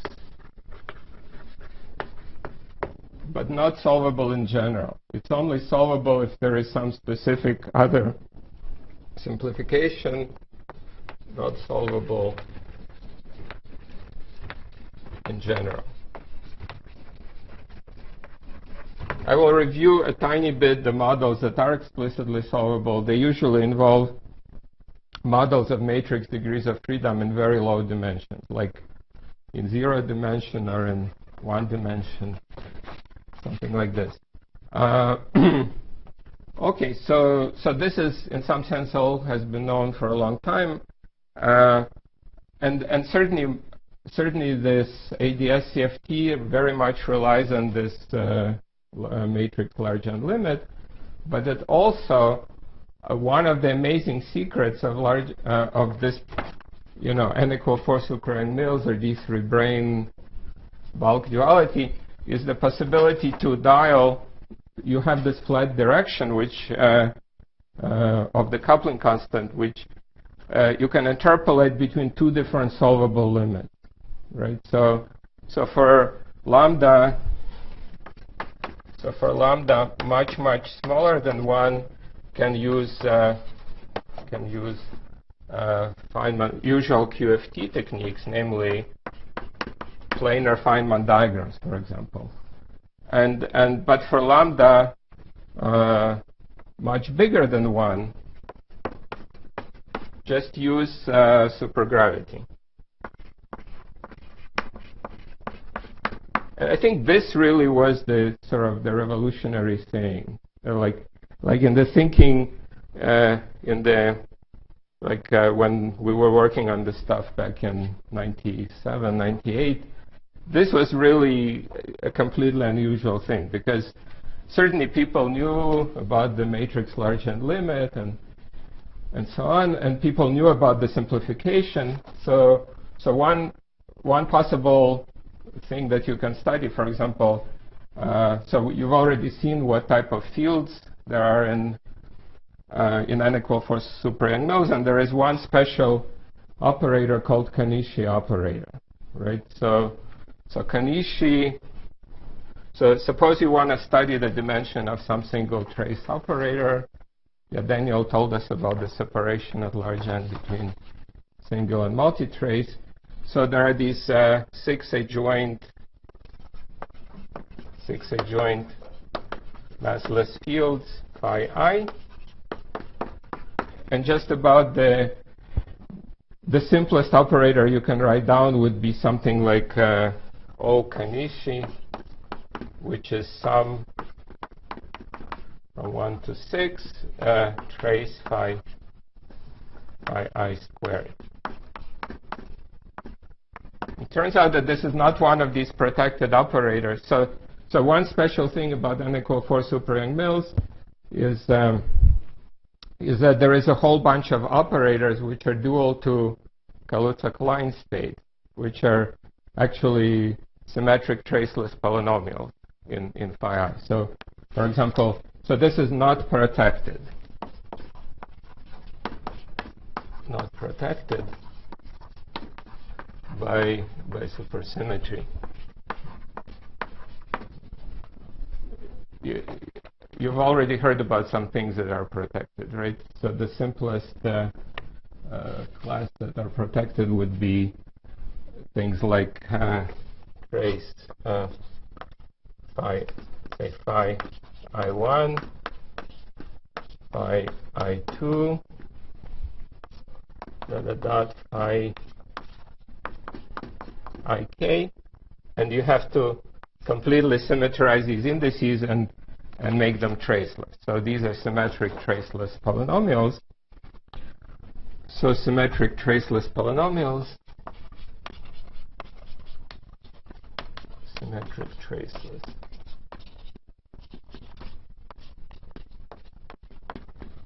Do you know what they're dual to in this in the ADS space? Probably some of you know. Uh, which which states are they dual to? Hmm? Right, right. Kaluza-Klein mode. So, so if you just look at uh, some some particular excitations, yeah. Luckily for ADS CFT, uh, some people did really hard work years before ADS CFT was formulated, and in particular, Kim Romans and Van Nieuwenhuizen computed the complete spectrum of ADS 5 cross S5, and there were some particular mixtures of there were some particular mixtures of uh, graviton and and uh, uh, trace uh, graviton and dilaton excitation. No, not dilaton, but so there were modes that have masses that corresponded to exactly these. So if you look at their dimensions, so their delta would be just k, uh, because phi has dimension Uh, 1, right?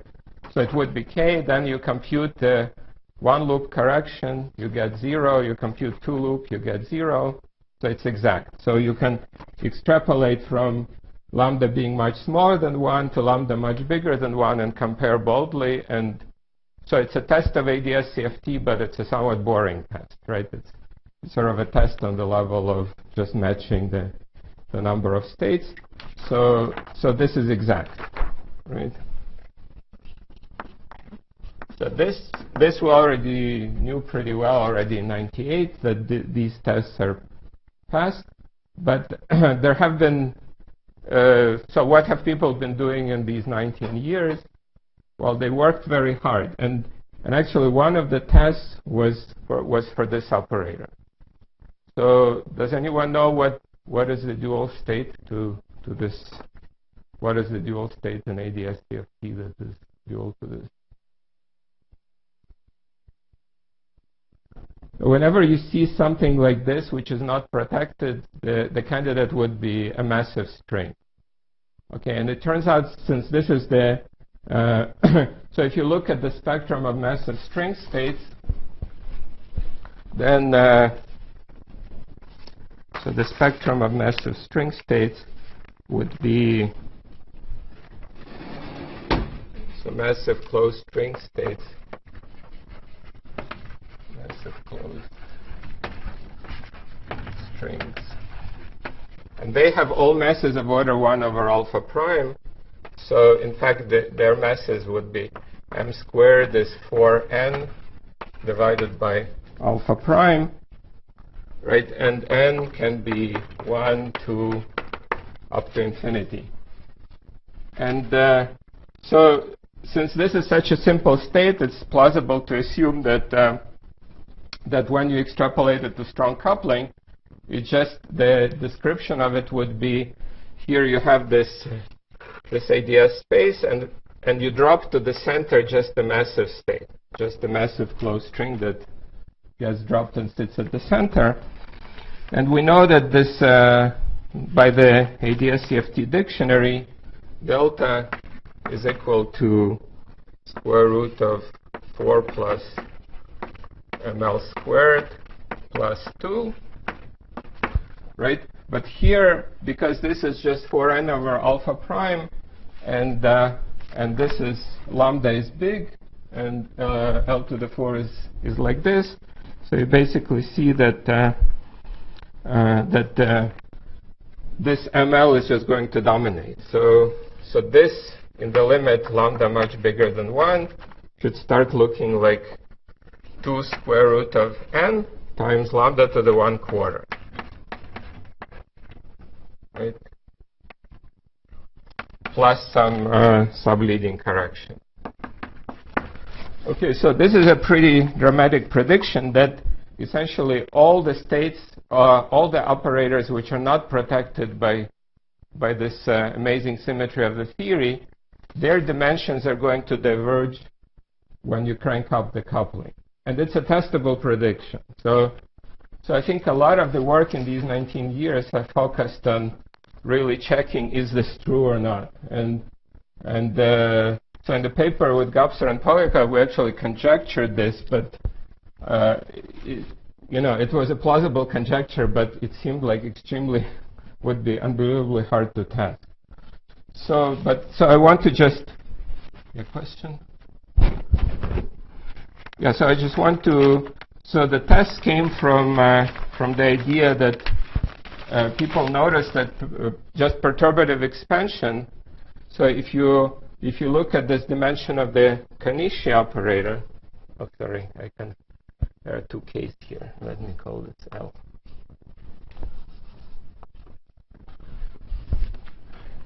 So, so this is the prediction uh, for large and large lambda behavior. Now, if you look at the dimension of the Konishi, of this Konishi operator, people started computing it perturbatively, and the first few calculations were done just using graphs. So usually people introduce this new parameter, g, which is square root lambda divided by 4 pi, just to remove some extra junky for pi. And you get the following few terms. So from from one loop term, you explicitly find 12g squared minus 48 g to the 4. That's two loop. Then 336 g to the 6 uh, that's 3 loop then starting for loop uh, you start seeing zetas coming in so there is minus 2496 plus uh, uh 576 zeta 3 minus 1440 zeta 5 and then the, the really powerful techniques were invented to continue this perturbation, uh, perturbation theory. And I think the particular breakthrough came from the paper by Gromov, uh, Kazakov, and Vieira.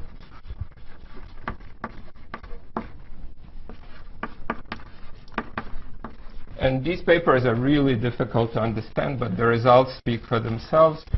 So uh, they basically notice some properties of spin chains that are used to to develop this uh, this perturbation theory. Uh, and by now, I think people know to 10 loops or even beyond. Like there are simply monumental accomplishments that would be totally impossible to reproduce directly. So, so this would be including including 10 loops. So you basically know how this function begins. And now what about on the dual side? Well, on the dual side, people weren't resting either. And in fact, uh, uh, it was possible to, uh, so by a series of tricks, they obtained the following terms here. So, so if you, for example, just look at the Konishi, then you can set this to 1. So, so one dream was to continue this and to check this uh, lambda 2 lambda to the 1 quarter behavior.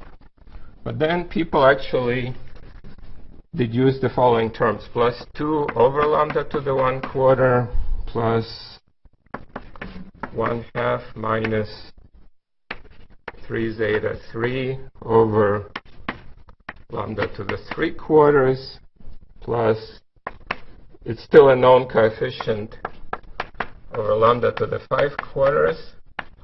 And I think so far that's all that's known. And uh, so the question is, if this is really one theory, is there a smooth function that that extrapolates between the two? And by now there is, from some from very precise cal uh, calculations involving these integrability solution that these people invested, uh, invented, there is now a very precise uh, plot at least, which uh, some of these plots appeared last year, but they they see like with so this is built in analytically, and they see matching with these results to very very high precision.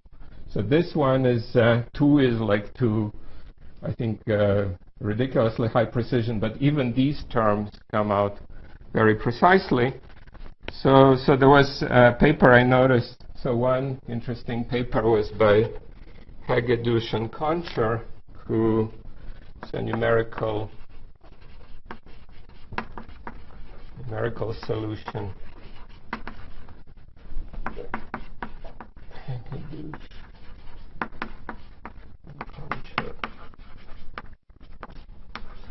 And this is, uh, I can give the hep-th number, it's 1604 dot zero two three four six. Yeah, I'll post all of this anyway but you, you basically see this rather modest looking curve. Uh, st still, people have not fully cracked the problem of analytic large N expansion, but, uh, but this curve very clearly behaves like uh, g to the 1 half or lambda to the 1 quarter, and all of these coefficients uh, match. So I think this is sort of one of the truly smoking guns that makes us believe so much that, uh, that, uh, that the theory can be continued from weak coupling defined through the usual Feynman graph techniques. And then once you approach lambda, not that high even, lambda of order 10 or something, it, uh, it becomes really described by string theory and ADS5, cross S5 background. Yeah, question?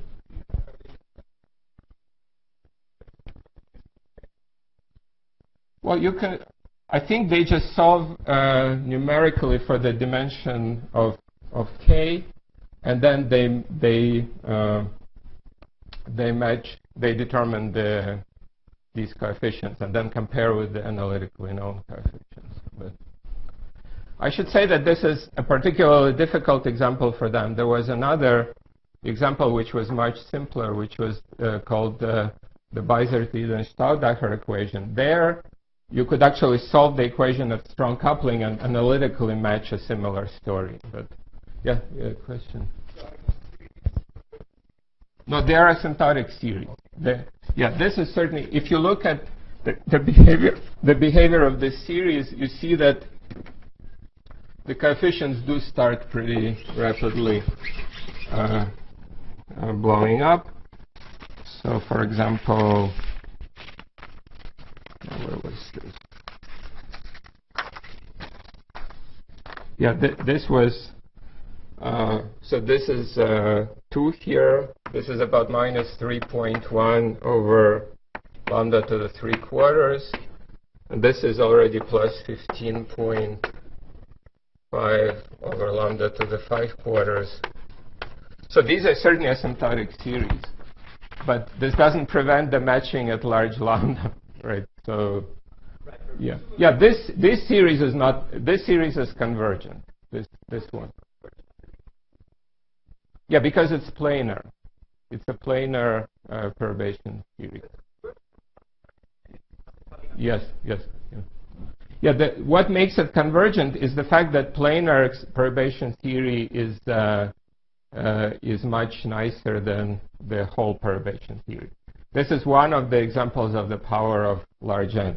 So I should so so one thing that should be made clear is that all of this depends on the leading large n uh, approximation. So if, for example, you so this delta k, of course, has a correction, some other function of g, like let's call it f1 of g over n squared, and so on.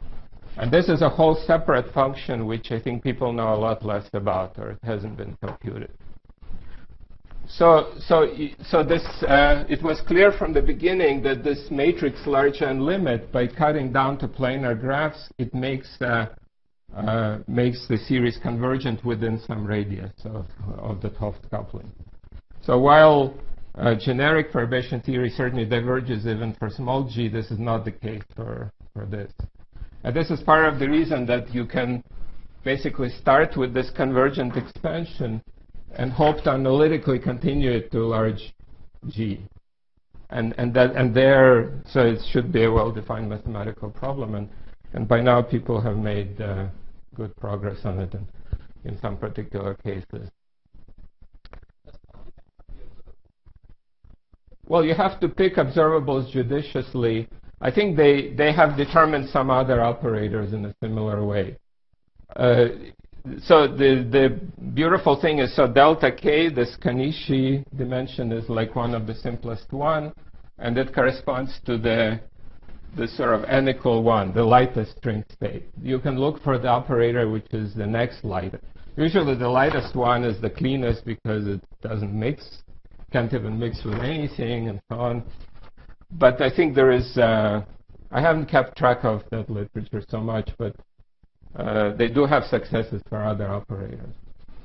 The one, if you want to know when the biggest, in some sense, the cleanest and the biggest success is for the so-called anomalous dimension, which is basically the following quantity that if you look for an operator of high spin, so the if you look at high spin operators, high spin operators, which are like trace phi i and then you you put in covariant derivative, say in the plus direction, uh, phi i, then then we know that the delta will be at weak coupling will be s plus two plus some order lambda correction. So so it's another operator which is not protected. Uh, and then more generally for large s, so for large s, for large S, you get delta is S plus some function of lambda times log S plus some order S to the zero term. And this function of lambda is, uh, people call it the cusp anomaly. That's, it's related to Wilson loops with cusps in some peculiar way, but so people call it cusp anomaly function.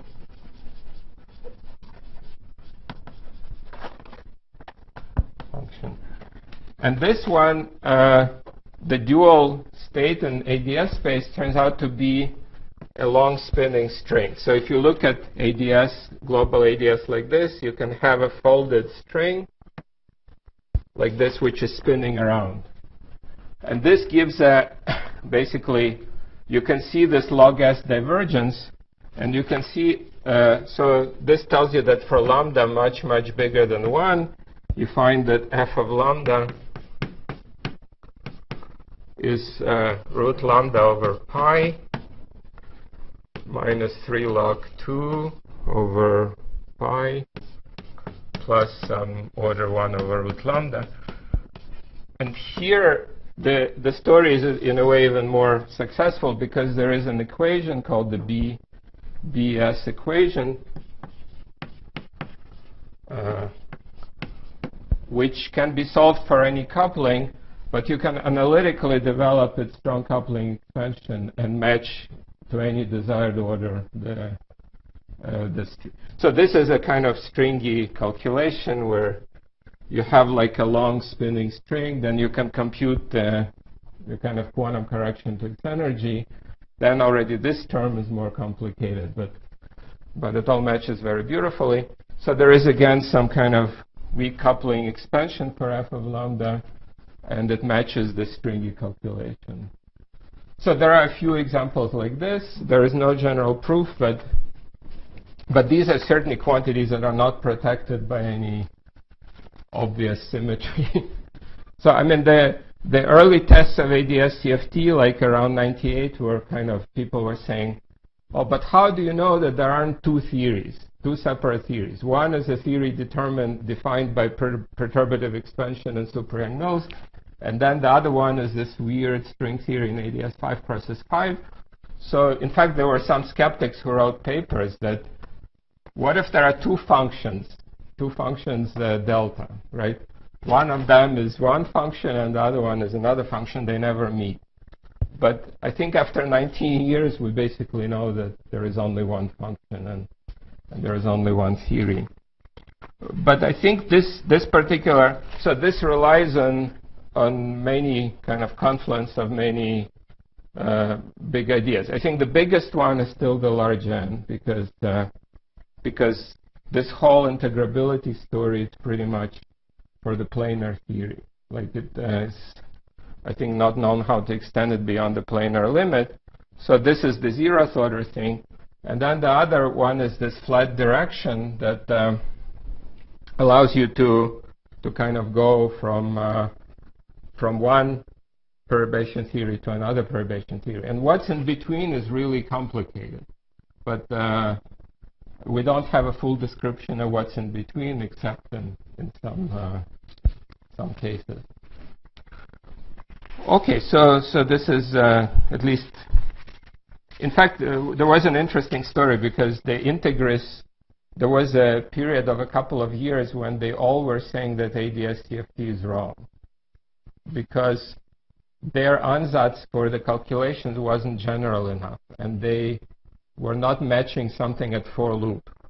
And then suddenly they realized what was missing. They obtained the matching at four loop with the with the explicit calculation and integrability and and then from then on they went from four loop to infinite loop pretty fast. but uh, okay, so so this is uh, one example of power of, of large n in this particular context. Uh, but one thing that I uh, I really want to talk about uh, in this series of lectures. So I'm giving this lecture today, which is a kind of a bit of a preview, and then um, and then two more lectures next week. And one thing that that I'm pretty excited about now is uh, is the following fact that if you asked people, say, a few months ago, what are the two generic sort of large n limits which don't rely on supersymmetry and just rely on counting indices? They would answer two. Like basically one would be the vector limit and the other one would be the 't Hooft limit.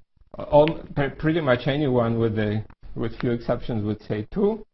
Uh, and uh, but now here comes the third one. Okay, the third one is the so-called so the so limit number three, so large n, third large n limit, large n limit is the, the tensor. limit. Uh, rank R tensor, R tensor with with R greater than or equal to 3. Now this is, uh, and in this case, uh, obviously C. So in the case of this matrix large n limit, uh, you obviously the number of degrees of freedom is going to scale like C is n squared, and here C is going to scale as as n to the r, right? Uh,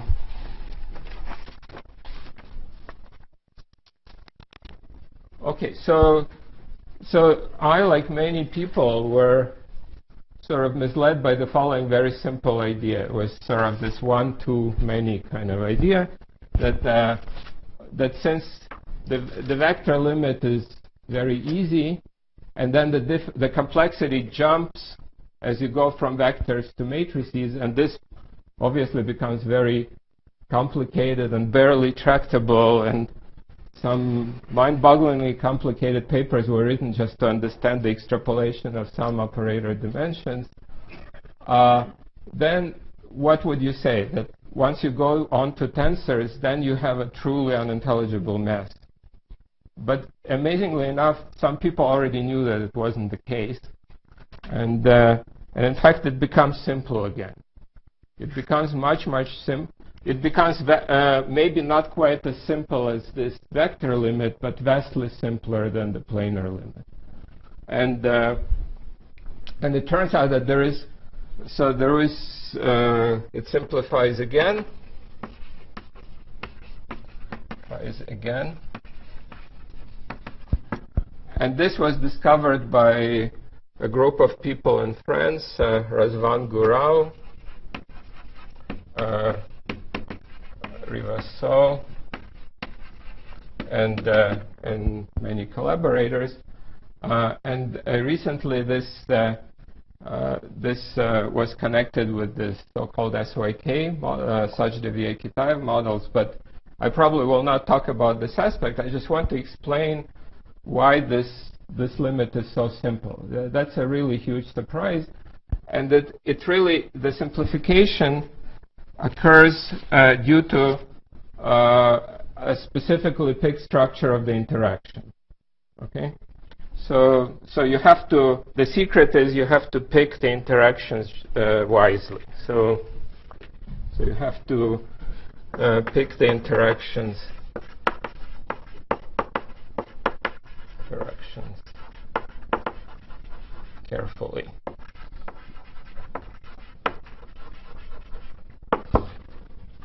While, while for uh, vectors and tensors you don't really need to do this, there is more or less a unique way, uh, way to do it. But in this tensor case, it, you have to kind of keep your wits about it. And, uh, and I wanted to explain how, how this story works.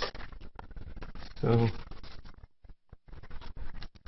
so this tale of three large n limits, oh, just one disclaimer. So some of you may have heard about other large n limit, right? For example, one uh, in the discussion uh, during Daniel's talk, there was the so-called M-theory limit that, that came up. Uh, so the so it doesn't mean that these three limits are the only ones known. So, for example, uh, there are additional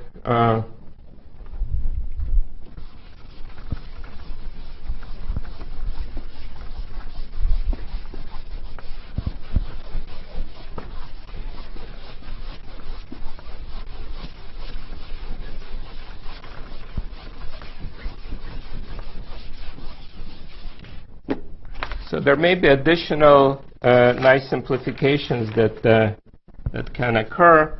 So, for example, in the, uh, one example is the so-called M2 brane theory. M2 brane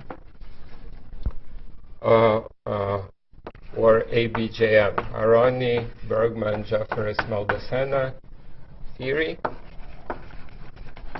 So this is widely regarded as a as a kind of closest relative to n equal 4 super Yang-Mills, but in one less dimension. So this is a particular example in 2 plus 1 dimensions. And it's basically UN level k cross UN level minus k theory uh, coupled to matter.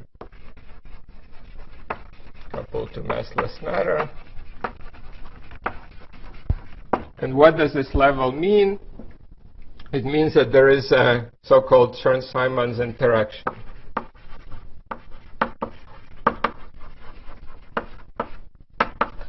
Interaction. Uh, this Chern-Simons interaction says that you have a term like k over 4 pi and uh, integral d3x a wedge dA. So this is the, the field corresponding to this gauge group, and then say minus a tilde wedge dA tilde. So in this theory, the analog of 't Hooft coupling, so analog of, of 't Hooft coupling, it exists. Uh, and it would be lambda equal to n over k. So the standard 't Hooft limit uh, is, uh, so the standard 't Hooft limit would be uh, standard, in other words, limit number 2, large n limit number 2 is uh, send n to infinity and k to infinity, uh, keeping lambda fi fixed. But the whole idea CFT duality for this theory suggests the existence of a, of a different limit, where you keep k fixed and send m to infinity. And this people often call M theory limit. So this is a different story.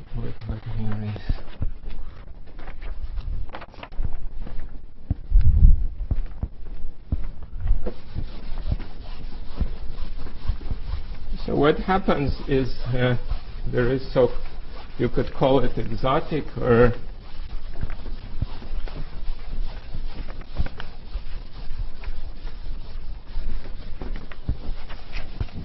So what, what does ADS-CFT conjecture for this theory? It says that the dual dual is uh, 11-dimensional M theory, which is supergravity, souped-up supergravity, on the background ADS4 cross S7 mod ZK. So obviously, if you want to keep this background the same, you want to keep K fixed. So this suggests the existence suggests existence of of what I could call exotic exotic M theory limit where you just say k is fixed and uh, n is sent to infinity. And amazingly enough, there is strong evidence just from field theory that this limit makes sense. And in this limit, uh, the c, the number of degrees of freedom, goes like n to the 3 halves. And there are actually, there is something called f, which is the, uh, uh, you can compute the partition function on the three-dimensional sphere for this theory. So f equal minus log z on the three-dimensional sphere is exactly solvable. Is exactly solvable. Well, it's reducible to some special finite dimensional integral, and you can really see that f goes like n to the 3 halves plus all sorts of uh, computable corrections. So in this uh, so this doesn't fall in this sort of generic classification. And actually, one of the things that I wonder about is this somehow the existence of these exotic special limits is very much the, the existence of these uh, large gap theories that Daniel was, was talking about. the question is, do these series ever exist in the absence of uh, special symmetries like high degree of supersymmetry? And at the moment, nobody knows, but but certainly in the cases where we do know these special limits exist, then uh, then they appear only in non-supersymmetric series. So I would say these two, I would say that there are two exotic sort of special behaviors where this large gap opens up. It's one is uh, so so you open up the gap in dimension, open up gap in dimension spectrum, operator dimension spectrum. I think people, there was a discussion in the previous talk, I believe people think that this gap is of order n to the one third, because that corresponds actually to the Planck, Planck scale. Uh, I think to some extent this has been established, but uh, but obviously this this limit is necessary for finding not just ADS dual, but a very weakly curved ADS dual. So the, so the question is, do you, always need this sort of extra something to not just have ADS CFT, but have a weakly curved ADS dual? And that's sort of the ultimate dream. We don't have that many examples of this, but, uh, but that's, that's basically what I wanted to say, that there are uh, in addition to these three generic limits, there are sort of possible additional special limits, and we want to expand the, the class of these special exotic limits. Are there any questions?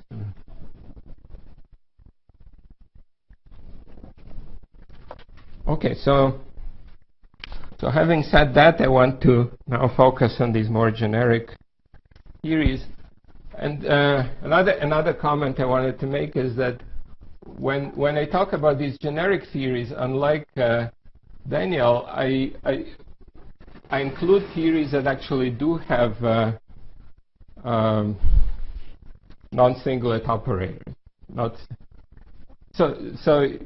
Listening to the talks today, you could just think that there are only two types of operators, which are single trace and multi-trace. But but for example, in this model, there are neither, right? There are just operators. For example, if you look at the spin operator uh, in the Heisenberg model, it's neither single trace nor double trace. It's just an operator in the vector representation. So, so this, these models, they include, uh, include the non-singlet, non-singlet operators. And I'll, I'll, say a little bit more. And for them, there is still like the large n is powerful. For example, if you look at if you look at the field theory, uh, yeah, if you look at the field theory description of these ON models, it's uh, it's something that you can read about in Peskin and Schroeder, right? All of you have read Peskin and Schroeder, right? it's in chapter 13 where the, there is a discussion of critical phenomena. For example, if you look at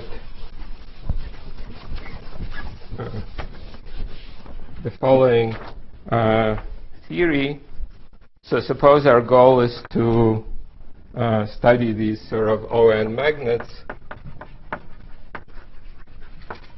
So you make some kind of a lattice I'll just for simplicity make it two-dimensional, although the most interesting case is when the lattice is three-dimensional. And at each lattice, you just have a classical spin pointing in some direction. And this classical spin, so you just have some energy function, which is minus j times sum over nearest neighbors of ni dot nj, right? And n is a n-dimensional vector, right? n is a vector which is acted on by this uh, n. And this, let's say it's a unit vector, so n squared is equal to 1. So for n equals 3, this is just the Heisenberg model, which is very common in nature because molecules can have spin and there can be these ferromagnetic. So it's ferromagnetic when. Uh, so it's ferromagnetic when j is bigger than 0. So then you can look at the partition function z, which is uh, sum over all spin configurations uh, e to the minus beta e, and you find the second order phase transition. Find the second order order phase transition.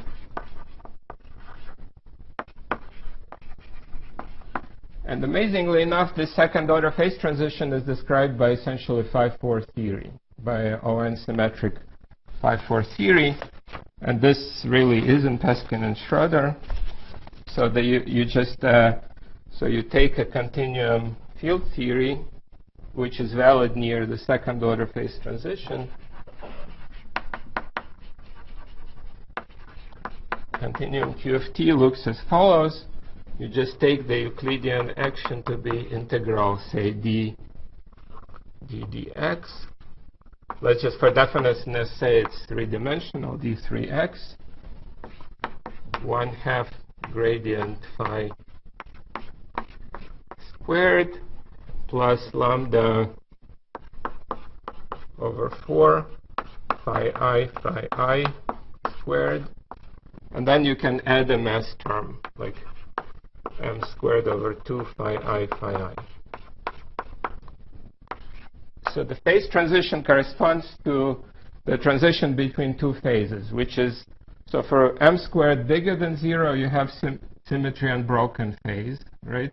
And for m squared less than 0, you have number Nambu-Goldstone phase. So, so this uh, phase transition, let me, so, so this uh, so phase transition separates separates the m squared bigger than 0 and m squared less than 0 phases. And this one is, uh, is the symmetry broken phase. Broken. And this is really has applications to nature. For example, the simplest case is uh, when n is just equal to 1. Do you know, do you know what this is called? What is, yeah, this is just the Ising model.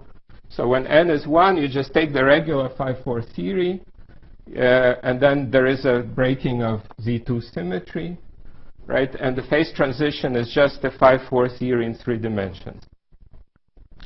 Uh, so in this theory, we can certainly compute uh, dimensions of operators. So the power of large n for this model is that, for example, you can take. So what are the simplest operators? Uh, this operator phi i is just like an average spin operator. You take these spins and average over some largest domain. So, so phi i is the spin operator.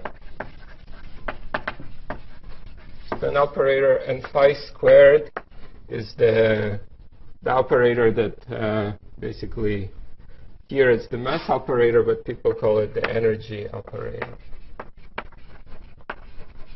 So these are the two simplest ones. So this one deserves to be called a single trace operator. Right? This one is a singlet. Uh, this is phi i phi i. So you can call this a single trace. But this one is just a non-singlet operator in the vector representation. And you can develop the, the large n expansion for either one. You actually find that for this one, the leading term is exactly the free dimension, one half. Uh, and then there are some corrections, like eta 1 over n plus eta 2 over n squared, and so on. So, and then similarly for, for phi squared, in this case, the expansion looks like uh, uh, in this case it's 2 plus, uh, plus some, let's call it eta 1 tilde over n plus eta 2 tilde over n squared. So, so these are maybe the most useful for physical applications because they describe actual real phase transitions. And these numbers are exactly solvable. They're, they're perfectly well computable. I'll, I'll explain briefly how, how they're computed. But for that, we first have to understand why this theory simplifies so much. So, so strictly speaking, this theory by itself is not, does not have any simple AD, dual ADS description because it includes, it's not gauged. So even though gauging maybe in some deep sense is not, but for this model, you know exactly what it means to gauge it. You, you can actually, Yin invented this. uh, you, you, uh, you can couple this ON model to an ON Chern-Simons gauge field. And that completely removes this operator from the spectrum, but keeps this operator and certain other ones. And that model uh, is basically what Polyakov and I conjectured to what its dual ADS description, but it does not have a large gap. It's, it's one of these higher spin ADS CFT duals.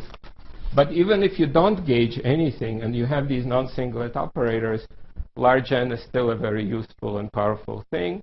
And you can, and one of the points of comparison for this is the, the recent bootstrap results. So, so while Monte Carlo calculations don't go usually to very high end. the bootstrap actually is no problem to, to continue to large n, and they obtained excellent matching with these 1 over n calculations. I should also mention that probably Silviu Pufu will, will talk about this. Uh, yes. Just to clarify, mm. the lambda is true. No, lambda is dimension full. Uh, so if you go to to a, for example, if you're working directly in three dimensions, right, lambda has dimensions of of mass. So in some sense, you can say that lambda flows to infinity. Right? It's, it's just a relevant operator. The picture of RG flow is like this. When you, you can tune this relevant operator to zero, then you just have a free CFT. Right, so the picture of RG flows is, uh, is like this. This is, uh, this is actually, it's something that was known long ago, but for some strange reason, many people forgot it, and now it sort of came back, and uh, partly because of Bootstrap or partly for lack of anything better to do.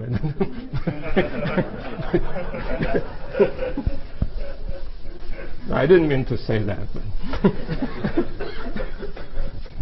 But, it, it's something that was known and uh, definitely to Ken Wilson. I mean, uh, it's called Wilson-Fisher approach. Or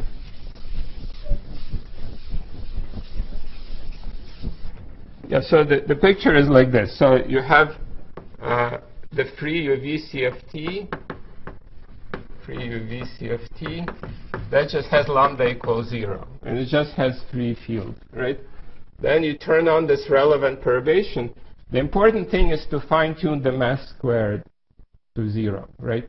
That's to, so there is one operator that needs to be fine-tuned, which is. But once you've done that, so generically you'll just flow to a massive phase. But if you fine-tune the flow, you get this uh, interacting, you can call this Wilson-Fisher CFT, Wilson-Fisher CFT. And this is in some sense, as your question, uh, it, it, should be very strongly coupled because lambda, in some sense here you have lambda equal infinity. And that's where the large N approach is useful or could be useful because you could just develop large N expansion at the CFT. So these, these things that I wrote here are exactly for this interacting large N CFT. At the free CFT, this delta phi is exactly one half, and and delta phi squared is one. So so at free CFT, at free CFT, uh, what you have is a delta phi i just one half and delta phi squared is 1. So you see that, that uh, the fact that, that this goes from 1 to 2 is a sign of strong coupling. But somewhat mysteriously, most other dimensions don't flow very far. So naively, you would say that these theories should be somehow far from each other. But the actual number, for example, if you look at the numbers for, for these, uh, for example, for here, you find that delta phi for the 3D Ising is about 0.518.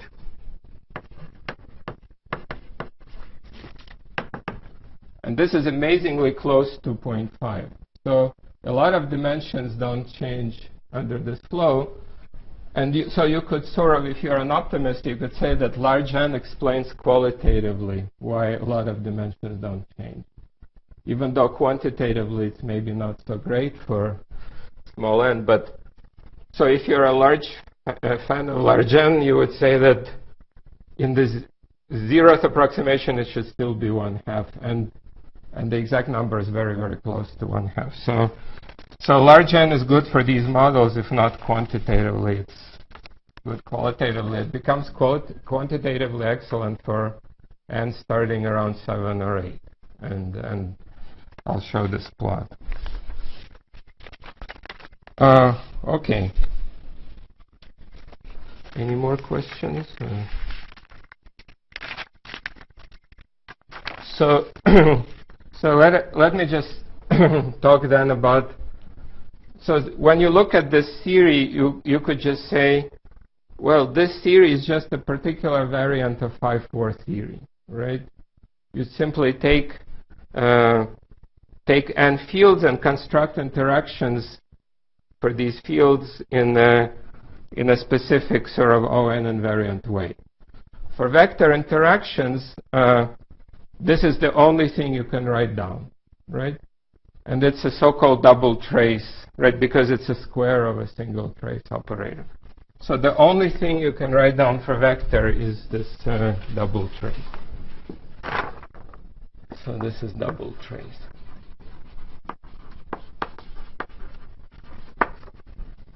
And now you can keep playing this game for for uh, matrices and for tensors. And for there you basically have uh, more freedom. Uh, and, uh, and I want to explain basically how you can use this freedom to, uh, to, to help construct a whole new large n limit. Uh, yes?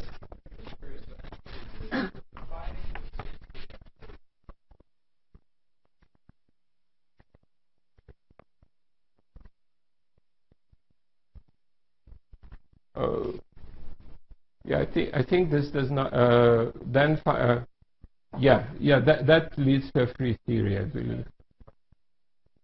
Yes, yes.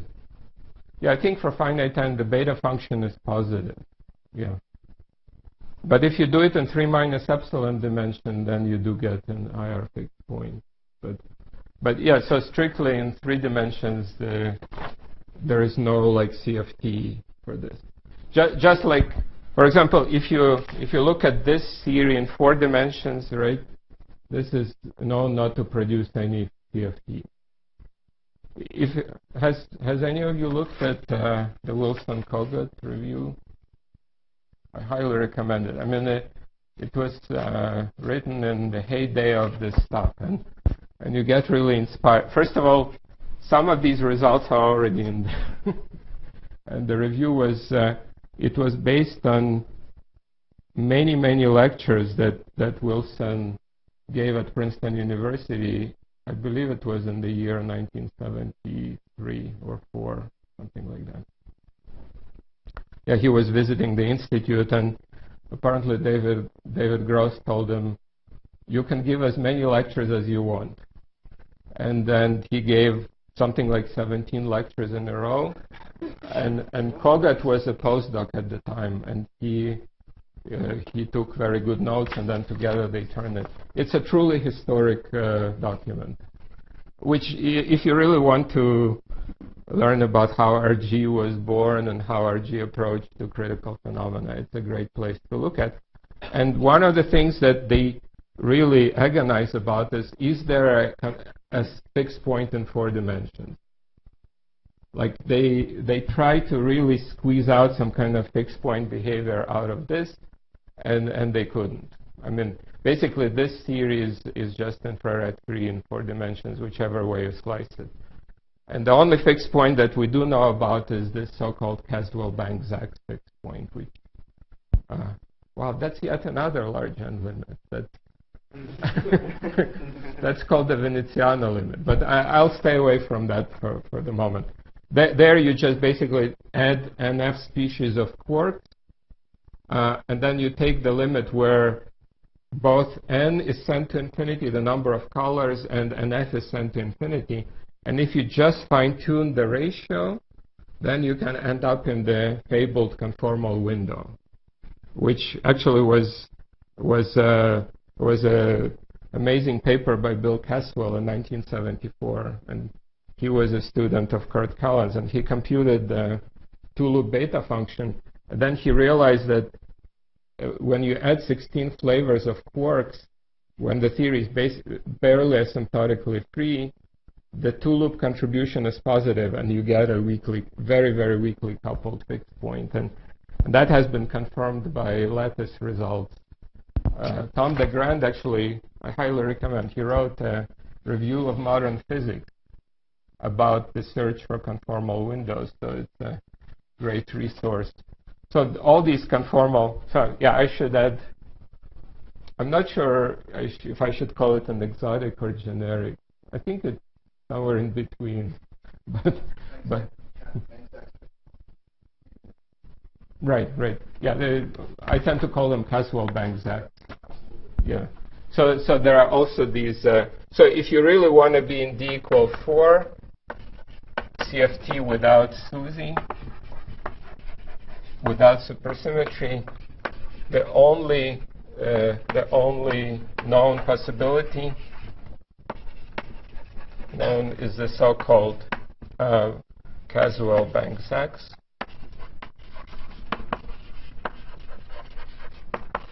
Banks and they consist of like SUN gauge theory, SUN with with NF uh, quarks, massless quarks, in the Veneziano limit.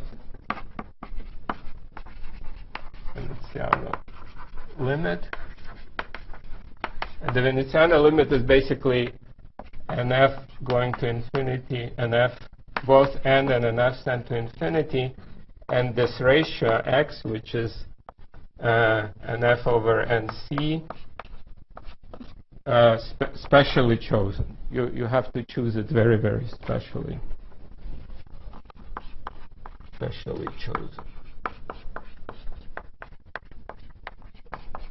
So without this kind of gymnastics, it's extremely hard to get conformal behavior in even dimensions.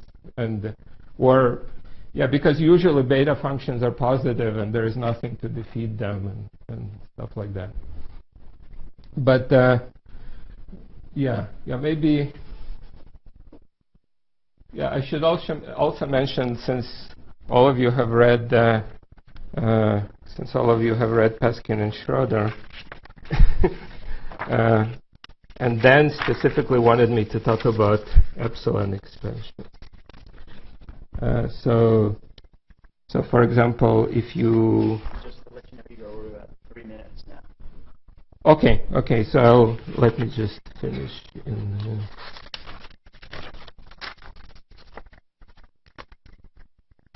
yeah, essentially, the thing I wanted to say is the following: that that in addition to large N expansion, these type of models also have something called the Wilson-Fisher epsilon expansion.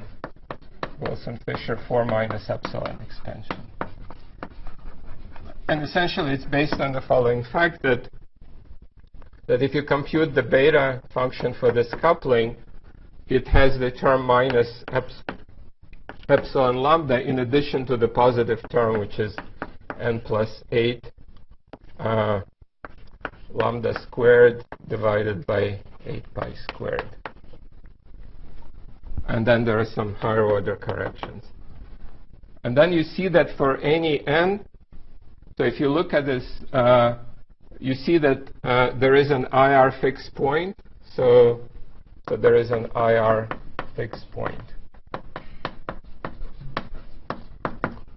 So, so while, so this actually ties to your question very much because while in three dimensions lambda looks like it just goes to infinity, in 4 minus epsilon this flow is very short. Like you still have the UV fixed, so this is the picture in 4 minus epsilon. There is U UV CFT, and here the IR CFT is very weakly coupled. It just sits at the coupling so when you solve this equal to 0, you find that lambda star is only uh, epsilon, uh, so it's 8 pi squared divided by n plus 8, plus some higher order corrections. So you see that it's actually suppressed both by the small epsilon and by the large n. And this formula is in Peskin and Schroeder, so I don't need to give a another reference. But you, you learn one important thing that when you take the large n limit of these vectorial theories, you also need to do something similar to the 't Hooft limit. Namely, you have to take lambda to be of order 1 over n. So this large n limit, so the vectorial large n limit, large n is uh, where lambda is taken to be of order 1 over n. And it's similar to 't Hooft, who took G Yang-Mills squared to be of order 1 over n.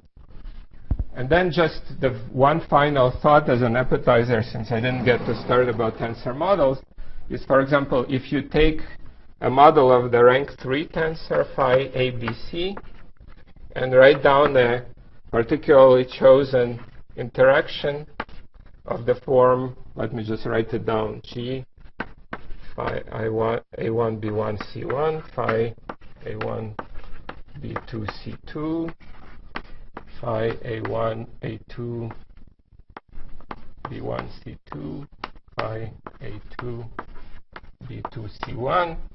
Then something, so you just take this special index contraction, you find that there is a, there is a large n limit where uh, g has to be taken to go like n to the minus 3 halves. And then a very small type of, uh, of diagrams dominates called melon diagrams. Then so-called, so the simplest melon diagram is like this. Yeah, the, uh, so melon, melons dominate.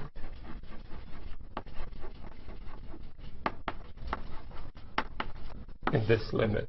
Well, it turns out that in this limit, the dominant, say, propagator correction is the so-called snail. So, so here, the, in this vectorial large n limit, uh, you just have snail dominance. So, so, so here is basically, in a nutshell, the story. It's like a battle of snails and melons. Uh, in the vectorial limit, snails win. Then for matrices, it's a draw, kind of. They both are important. And then in this limit, amazingly enough, snails lose and melons win.